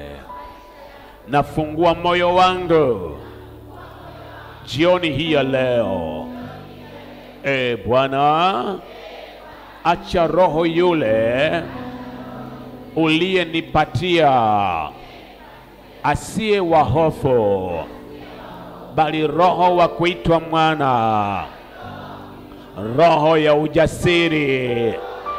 Inuke ndani yangu, inuke ndani yangu. Kwa mara nyingine tena, kwa mara nyingine tena, nafanya uamuzi wa kukataa. Fungamano lolote na kila mjumbe wa namna ya Tobia, wa namna ya Sanbalati, leo hii saa hii na kataa kila kitisho kinachonizuilia nisipige mbio katika yale yaliyo sahihi hakina sehemu, hakina uwezo, hakina fungo, hakina kumbukumbu, kizuizi chochote. Kutoka kuzimu, kutoka kwa wanadamu, kikiwa cha kuvamia, ikiwa ni cha urithi, hakina uwezo hakina mamlaka, hakina sababu ya halali. Katika jina la Yesu, jioni hii ya leo napokea roho iliyotulia, na kataa ufahamu wenye kutangatanga, na kataa kila tabia ya viumbe wa kipepo. Na kataa kutembelea mahala nisipopajua katika ulimwengu wa roho, na kataa kuambatana na mtu yoyote ambaye katika huyo nitamtumainia, kama bila ya yeye maisha yangu hayana maana. Nimekataa, nimekataa mawazo ya kukata tamaa yanayonena ni afadhali kutokuwa hai.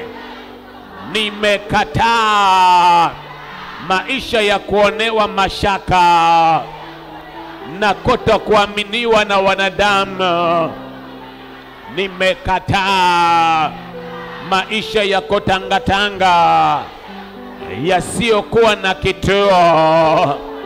Nimekataa kuvutia watu wasio sahihi, watu waliopotoka mioyo, wananena yaliyo sahihi vinywani mwao, mioyo yao imepotoka. Wanatenda yaliyo sahihi mwanzoni, lakini mwisho wa yote ni njia za mauti. Nimekataa fungamano lao. E Bwana, wewe wawapa wale uwapendao usingizi mzuri, ushirika wowote na wavamizi wakanifanya kunena kuyakubali ninayotakiwa kuyakataa na kuyakataa ninayotakiwa kuyakubali. Leo hii agano lao nalivunja, sababu zao nazifuta kwa damu ya Yesu, kwa damu ya Yesu.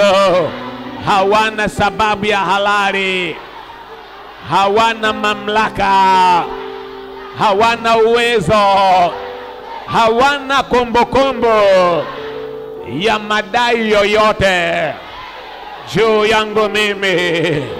E Bwana, yeyote yule wa mkono wa uovu anayewinda roho, nafsi na miili ya wanadamu, leo hii upako ule ule uliokuwa juu ya Elisha akalichukua mateka jeshi lote la Washami na uje juu yangu. E Bwana, watekwe nyara wale watekao, wakamatwe wale wakamatao, ikiwa ni kwa magonjwa wakamatwe, ikiwa ni kwa maneno ya hila wakamatwe, kwa kitisho cha kipepo wakamatwe, kwa urithi wa mabaya wakamatwe leo hii sahi. E Bwana, mimi nimesarenda kwako, nimesarenda kwako kwa yote ulionitendea. Moyo wangu umepondeka, nimekataa moyo wa jiwe, napokea moyo wa nyama. Nimekataa moyo wa jiwe, napokea moyo wa nyama. Roho yoyote ya bumbuazi la akili inayonisukuma kufanya maamuzi ya vifungo, nikawaita waliolaaniwa kuwa ndio baraka, na yale ya baraka nikayaita laana. Leo hii hauna nafasi, hauna mamlaka, hauna uwezo, hauna sababu ya halali, hauna kombokombo.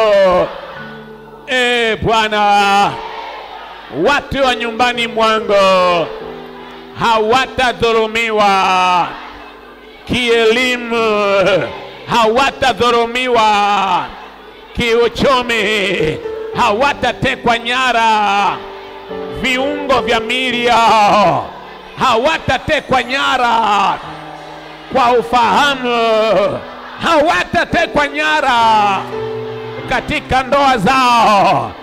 Leo hii saa hii na korohoso, e Bwana, tembea kwa mafuriko ya roho ya ukombozi, yavunjwe magereza yao, yavunjwe maghala yao, kila anayenihusu, kila kinachonihusu kifunguliwe, afya yangu ifunguliwe, fedha zangu zifunguliwe, huduma yangu ifunguliwe, ndoa yangu ifunguliwe, watoto wangu wafunguliwe.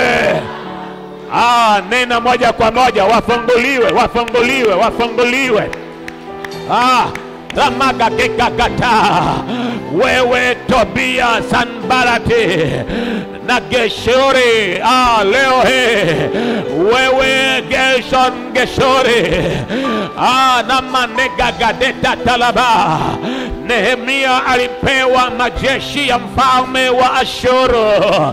Mimi nimepewa majeshi ya mbingoni kwa damu ya mwana kondoo Yesu na kwa kazi ya msalaba. Amanega talaba, enyi majeshi ya mbingo, achilieni yale yote yanayoniangukia kwa uweza na nguvu zipitazo nguvu.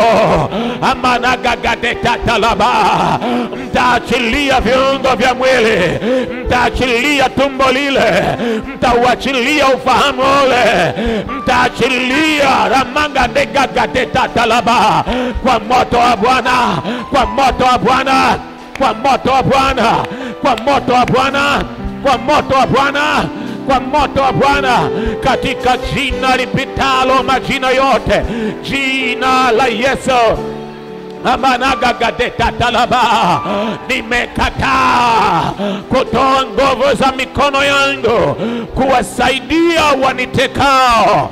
Nimekataa, nimekataa, nimekataa, nimekataa, nimekataa, nimekataa. Jamanegagadetalaba shamanama magalaba. Gogagadetalaba magalaba Ah, ndiyo ndiyo ndiyo, malango yamefunguliwa, ayakatakata malango ya chuma, ayavunjavunja mapingo ya shaba ndiyo hata mateka wake yeye aliye jabari, aliye mwenye nguvu, Bwana anamtoa kutoka mikononi mwake na amnyang'anye kutoka mikononi mwake. Yeye aliye aliyedhani anazo nguvu, aliye na nguvu zipitazo nguvu, yuko katikati yetu jioni hiyo leo.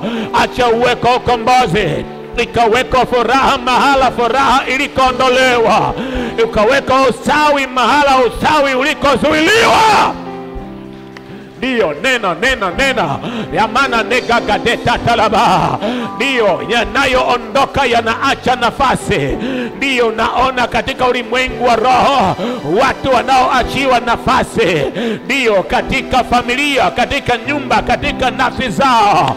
amana negagata talaba yule mwovu hatatembelea baadaye akote pakiwa patopo, palipoachwa wazi pajazwe na yale ya thamani za mbingu.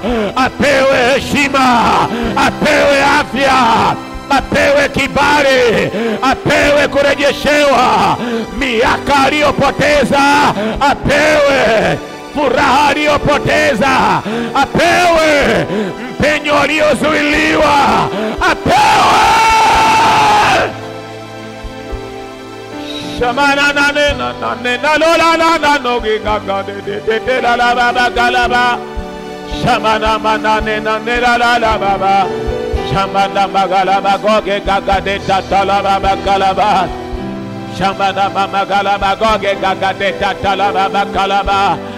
ne magalaba na de de de de la la ba ba ga la ba Shamana ma na ne na ne la la la ba ba Shamana ma ga la ba go ge ga ga de ta ta la ba ba ga la ba Shamana ma ma ga la ba go ge ga ga de ta ta la ba ba ga la ba Himara mama galaba de da talaba bakalaba kamba de mama galaba Himana mama galaba kamba da mama goge gagate Chemanda damana mama galaba kamba de gagata hawana fungu hawana sehemu. Ndiyo mauti haina fungo, haina sehemu. Roho ya kukataliwa na kuzuiliwa mahala pa meza ya mema haina fungo, haina sehemu juu yake Thank you, Lord. Shemarena na na negege. Shemara mana mane gagada de da dala. Shamana mama goge gagade da dalaba. Shamara magalaba goge gagade da dalaba. Shemana mama galaba goge gagade da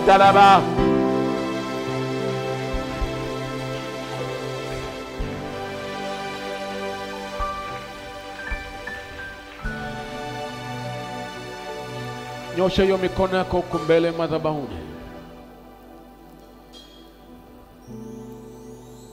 Nyosha tuna utulie, pokea katika jina la uweza la Yesu Kristo.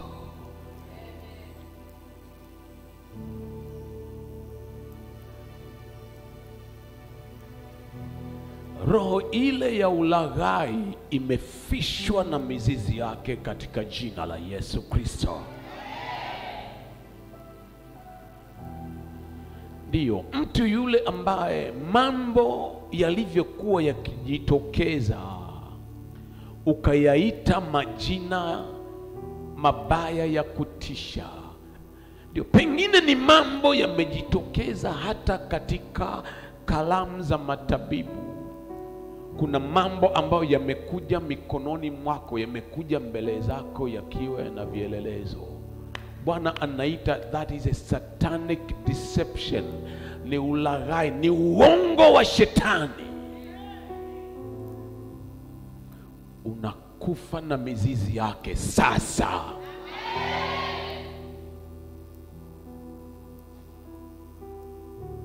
Ufe. Oh, yes, Lord. Yamana.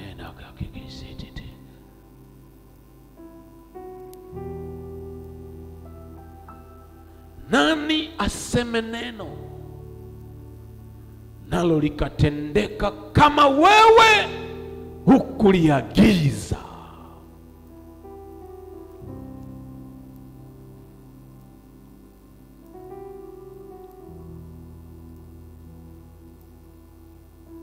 Mikono ya mtu ambayo imekuwa ikifanikisha maisha ya wengi, lakini hakuna anayefanikisha maisha yako, inafunguliwa sahi. Na nena habari ya mikono ya mtu ambaye yaliyo ya thamani kubwa yanapita mikononi mwako yamepita mikononi mwako. Watu hawaachi kunena kwamba ilikuwa ni wewe uliyewafanikisha kwa hiki, kwa kile kwa kile, lakini mikono hii imefungamanishwa na mambo yaliyo kama Mwisraeli aliyetungika vinubi vyake kando ya mito ya Babeli, akinena sitaimba wimbo wa Bwana katika nchi ya ugeni, maana nikiimba huku ni kama kuisahau Yerusalemu. Bwana anauleta moyo wako katika Yerusalemu ya mbingu. Nyimbo zako zinaanza, hazitaanza na wewe, kwa sababu wako watakaoimba nyimbo zako, wako watakao kupigia makofi. ramaga jetatalaba. Asante Bwana Yesu. amanegagatatalaba amananegagatetalaba. Hawa ni wana wa mji wa Bwana, hawa ni binti wa mji wa Bwana, wanapigiwa makofi, wanaimbiwa nyimbo mikono ile waliodhani kwamba haitakuja kuinuka kwa sababu zozote, leo hii Bwana anairejeshea hadhi mikono. Hautahitaji miaka uliyopoteza ili uwe umeinuka. Mikono unahitaji mguso wa Bwana na yote yawe yametendeka ndiyo wa Bwana na yote yawe yametendeka. Unaondolewa mahala pa mtu apotezaye, unaondolewa mahala pa mtu mwenye kuhesabu hasara, unaondolea mahala pa kuandisha wengine na wewe hakuna akuandishaye. Mikono pokea.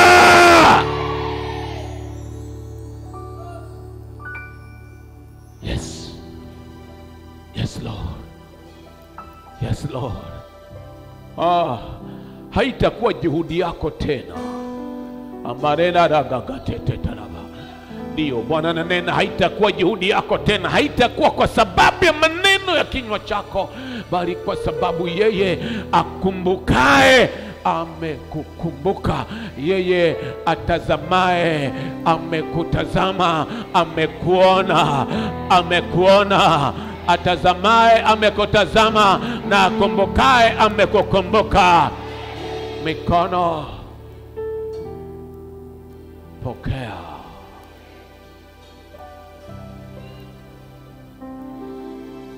Yes, Lord.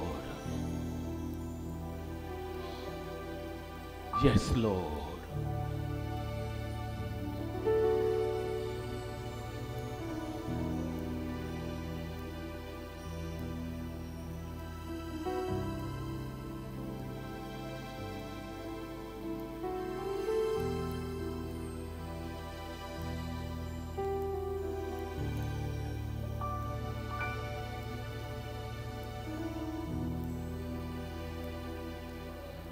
Kuna watu sio tu kwamba wanatendewa, lakini wanaingia katika mawimbi ya fungamano.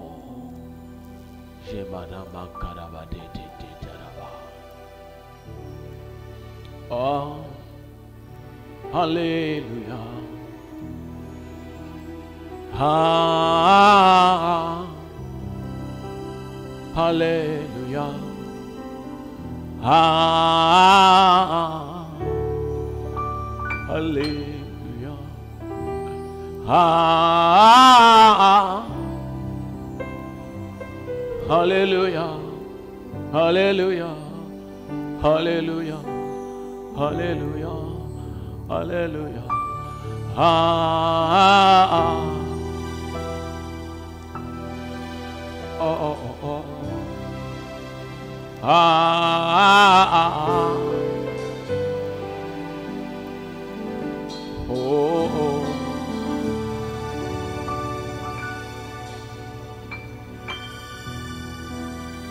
Shimone na na no no no. Shimone na na na no ge ge. Shimone ma na na no no re re re. Shimone ma na ma ma na ne ge ge re.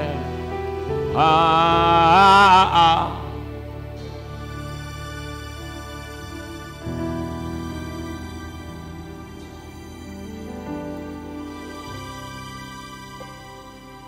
Uponyaji wa ajabu unatembea, wa ajabu. Ikiwa uko hapa au uko mbali, unawashwa mwili sana, kuna sumu zinaondoka, kuna mtu unajikuna mpaka mwili unavimba na unatoka rashi za ajabu. Sumu inaacha mwili wako, saa hii unapokea uzima, uzima mkamilifu. Acha nafsi yako ingie katika mafungamano na yeye, na nena habari ya mtu ambaye anatendewa jambo moja la mafungamano yake na Mungu linaleta majawabu ya mambo yale mengine yote ambayo moyo wako ulikuwa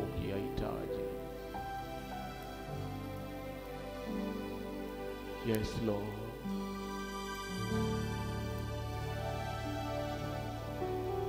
Shamanena, zamanena, no, no, no. Hamana madena de da da da da. Zemana gugegede. Zemana madura da da ba. Zemana ne da da da. Samana magala ba gogi ganga de da da la ba ba da da. Simuna mana de da da.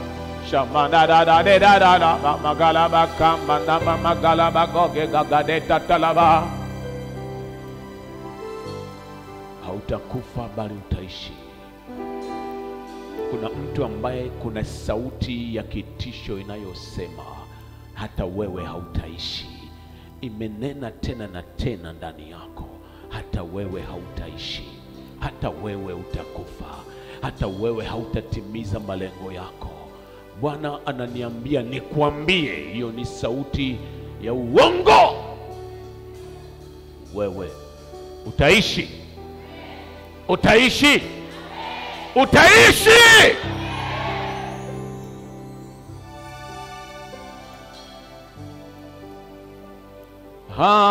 Ah.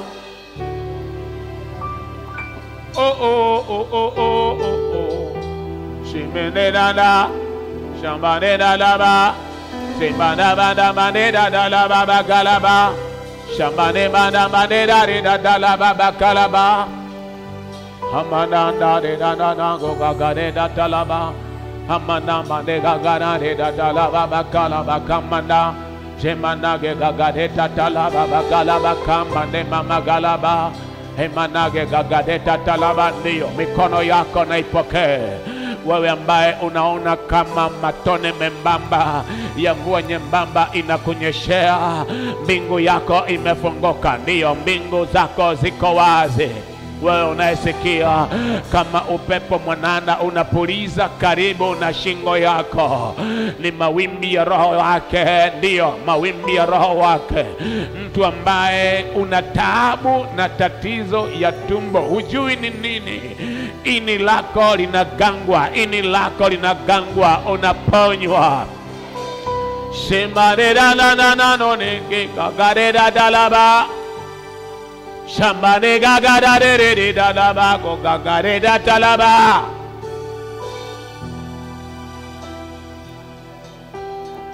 Ndivyo inavyotendeka. Asante Bwana Yesu, asante Bwana Yesu.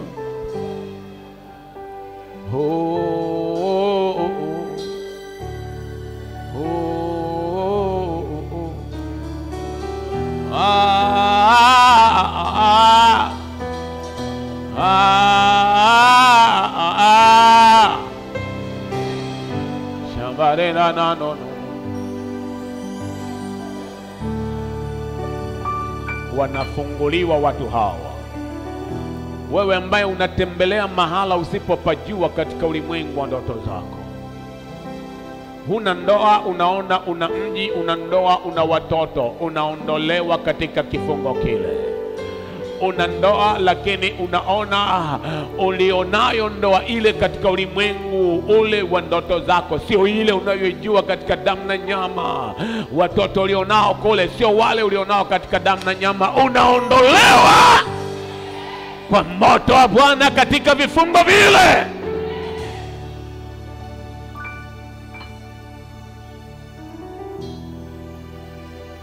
Naachilia mafuriko ya majeshi ya mbingu katika kambi yako sasa, sasa,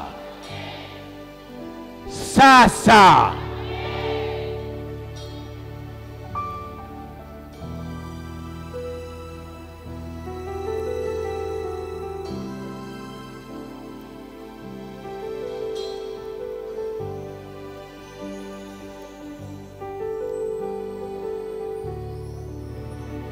Unahamishwa. Naona mtu ambaye watu wanapata ugumu kukuamini unapotengwa na fungamano la makao yale ya kipepo. Waliokuita majina wamekuita majina ambayo kwa hakika sio sehemu halisi ya maisha yako. Watauona utambulisho wako sahihi katika yeye. Pokea, pokea, Pokea, pokea.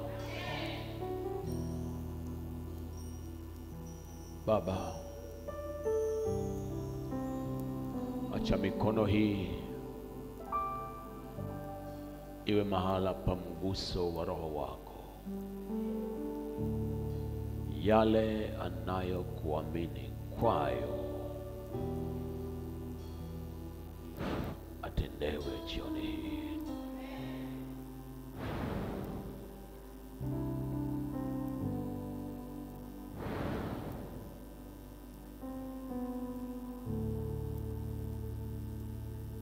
Weka hiyo mikono sehemu ya kitovu ya tumbo lako yote miwili.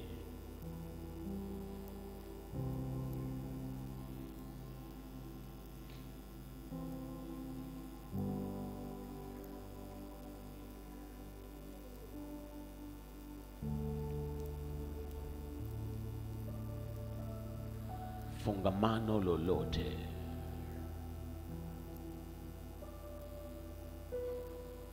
La kitovu cha kiroho katika ulimwengu wa roho. Lililopitisha mabaya kwenda katika nafsi yake. Kwa nadhiri za utumishi na kwa mafuta ulionipaka, na nena fungamano hilo livunjwe na kitovu kile kilichoshibisha udhaifu, mabaya, giza, chochote cha kumrudisha nyuma kikatwe.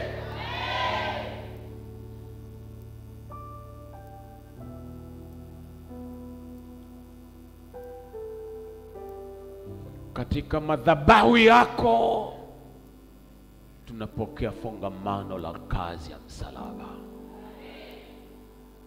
litakalokuwa wingi wa siku, litakalokuwa furaha isiyojua kuondolewa, litakalokuwa heshima ya kudumu, litakalokuwa afya na nguvu, fungamano la yale ambayo yanaruhusiwa kuonekana na kuwako mbinguni tu.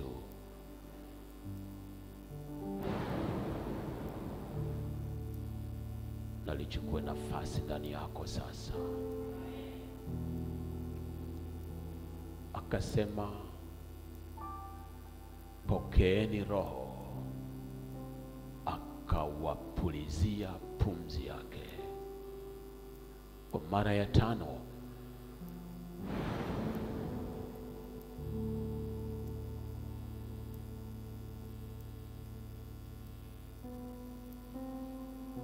Wale wanataja magari, wale wanataja farasi sisi tunalitaja jina lako Bwana kwa mara ya sita.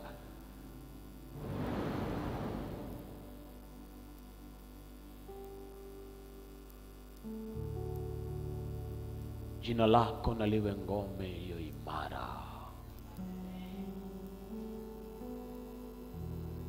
Huyu hataangamia kwa sababu ya waangamiao hataanguka kwa sababu ya waangukao, hatashindwa kwa sababu ya washindwao. Baba, asante.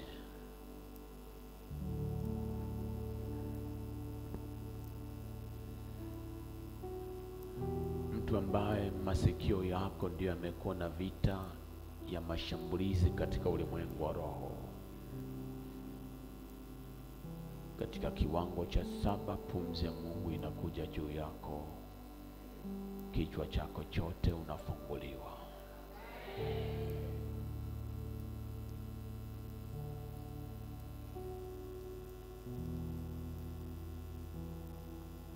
Mtu ambaye ulifika mahala ambapo ukawa hujui unataka nini,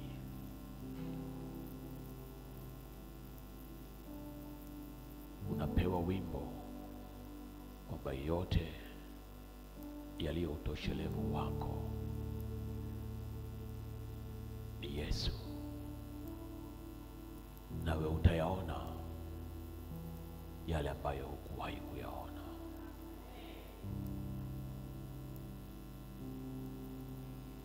Kwa mara ya saba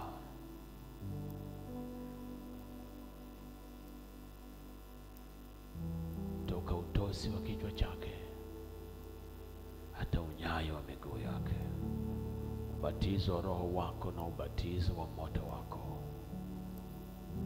Vithibitishe ya kwamba tu watu tuliotengwa kwa kusudi la yale ya ufalme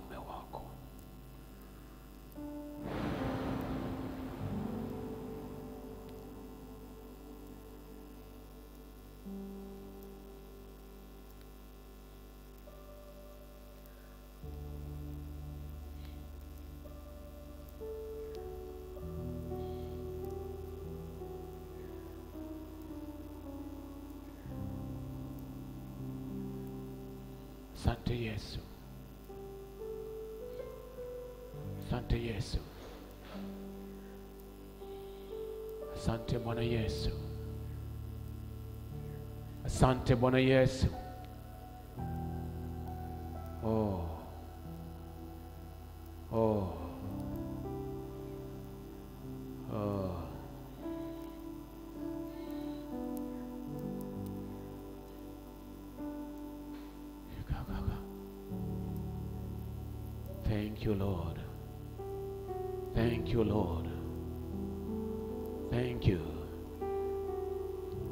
Tena maneno yale kwamba anajidanganya huyu. Hakuna tena maneno yale kwamba mbio zake ni mbio za bure. Hayatasikika tena maneno yenye kuzuia miguu yake asiruke na kucheza kwa Bwana kwa furaha ya yale ambayo macho ya wote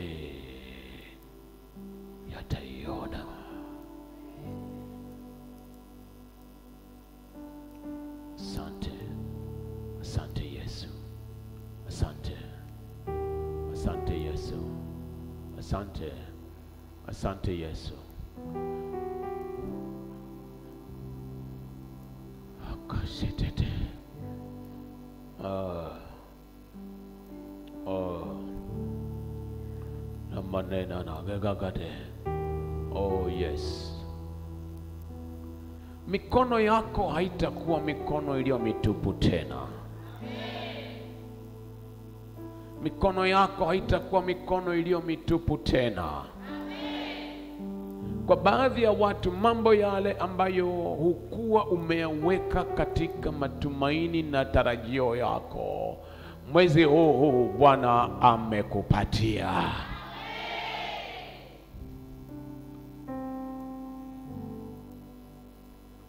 Kuna watu ambao baraka ya pekee unayoondoka nayo jioni hii ya leo, Mungu ananena ni mbingu yako itakuwa wazi, itakuwa wazi, itakuwa wazi, itakuwa wazi, itakuwa wazi, itakuwa wazi. Utaita, mbingu zitakuitikia.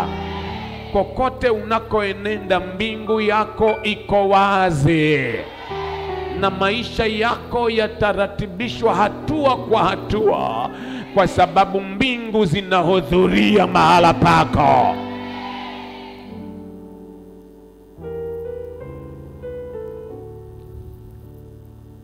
Asante Bwana Yesu, asante Bwana Yesu. Mtu ambaye moyo wako umechoshwa na mengi ukiwa hapa au ukiwa mbali online, semona mane nanakakasheteteleba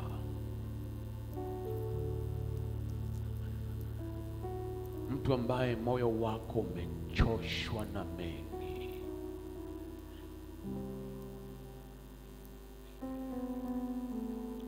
fumbo lile ambalo Paulo mtume ananena na uhai nilio nao sasa katika mwili huu ninao katika imani ya mwana wa Mungu. Mungu anakufumbulia fumbo hilo sasa.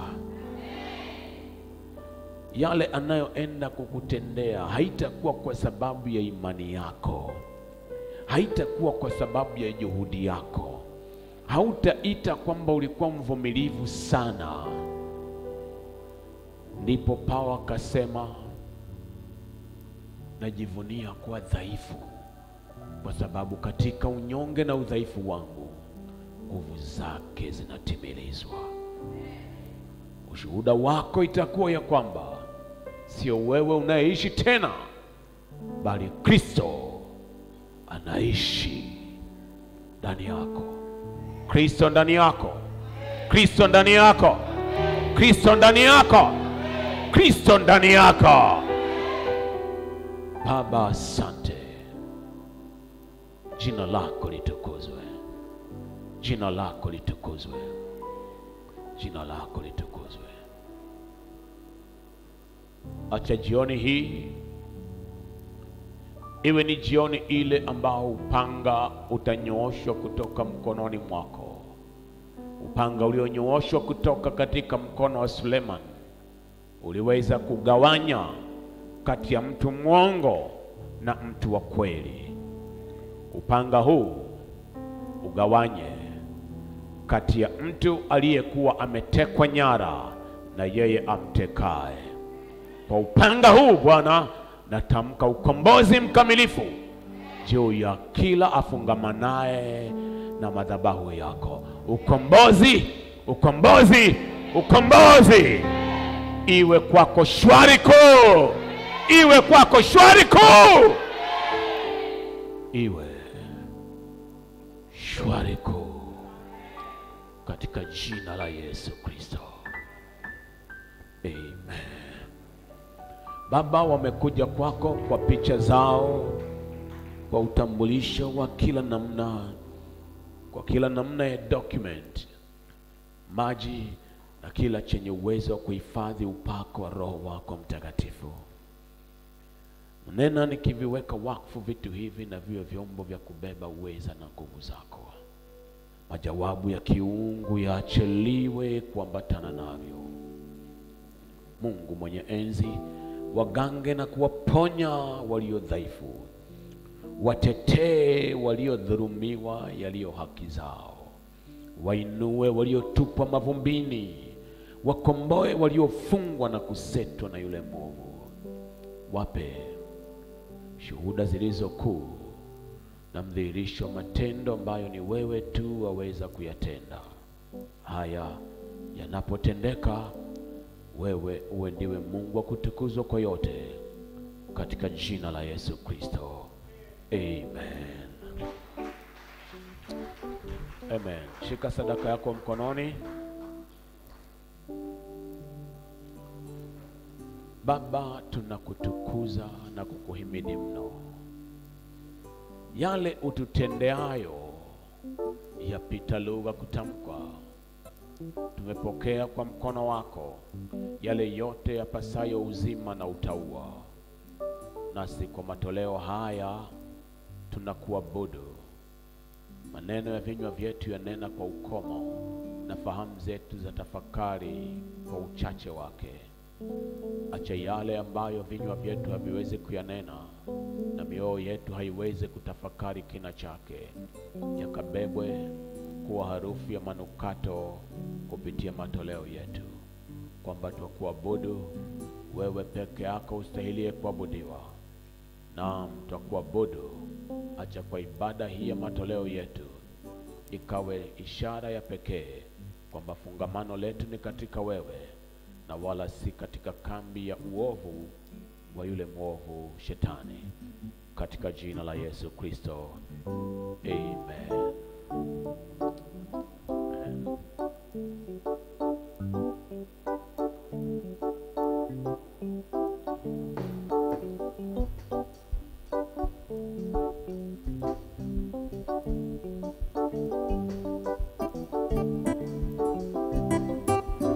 Haleluya! Jinsi gani Mungu amekuwa mwema kwetu kutokea katika nyua na madhabahu ya mji wa Bwana. Mimi ni ndugu yako Bishop Dr. Manasse ndiye.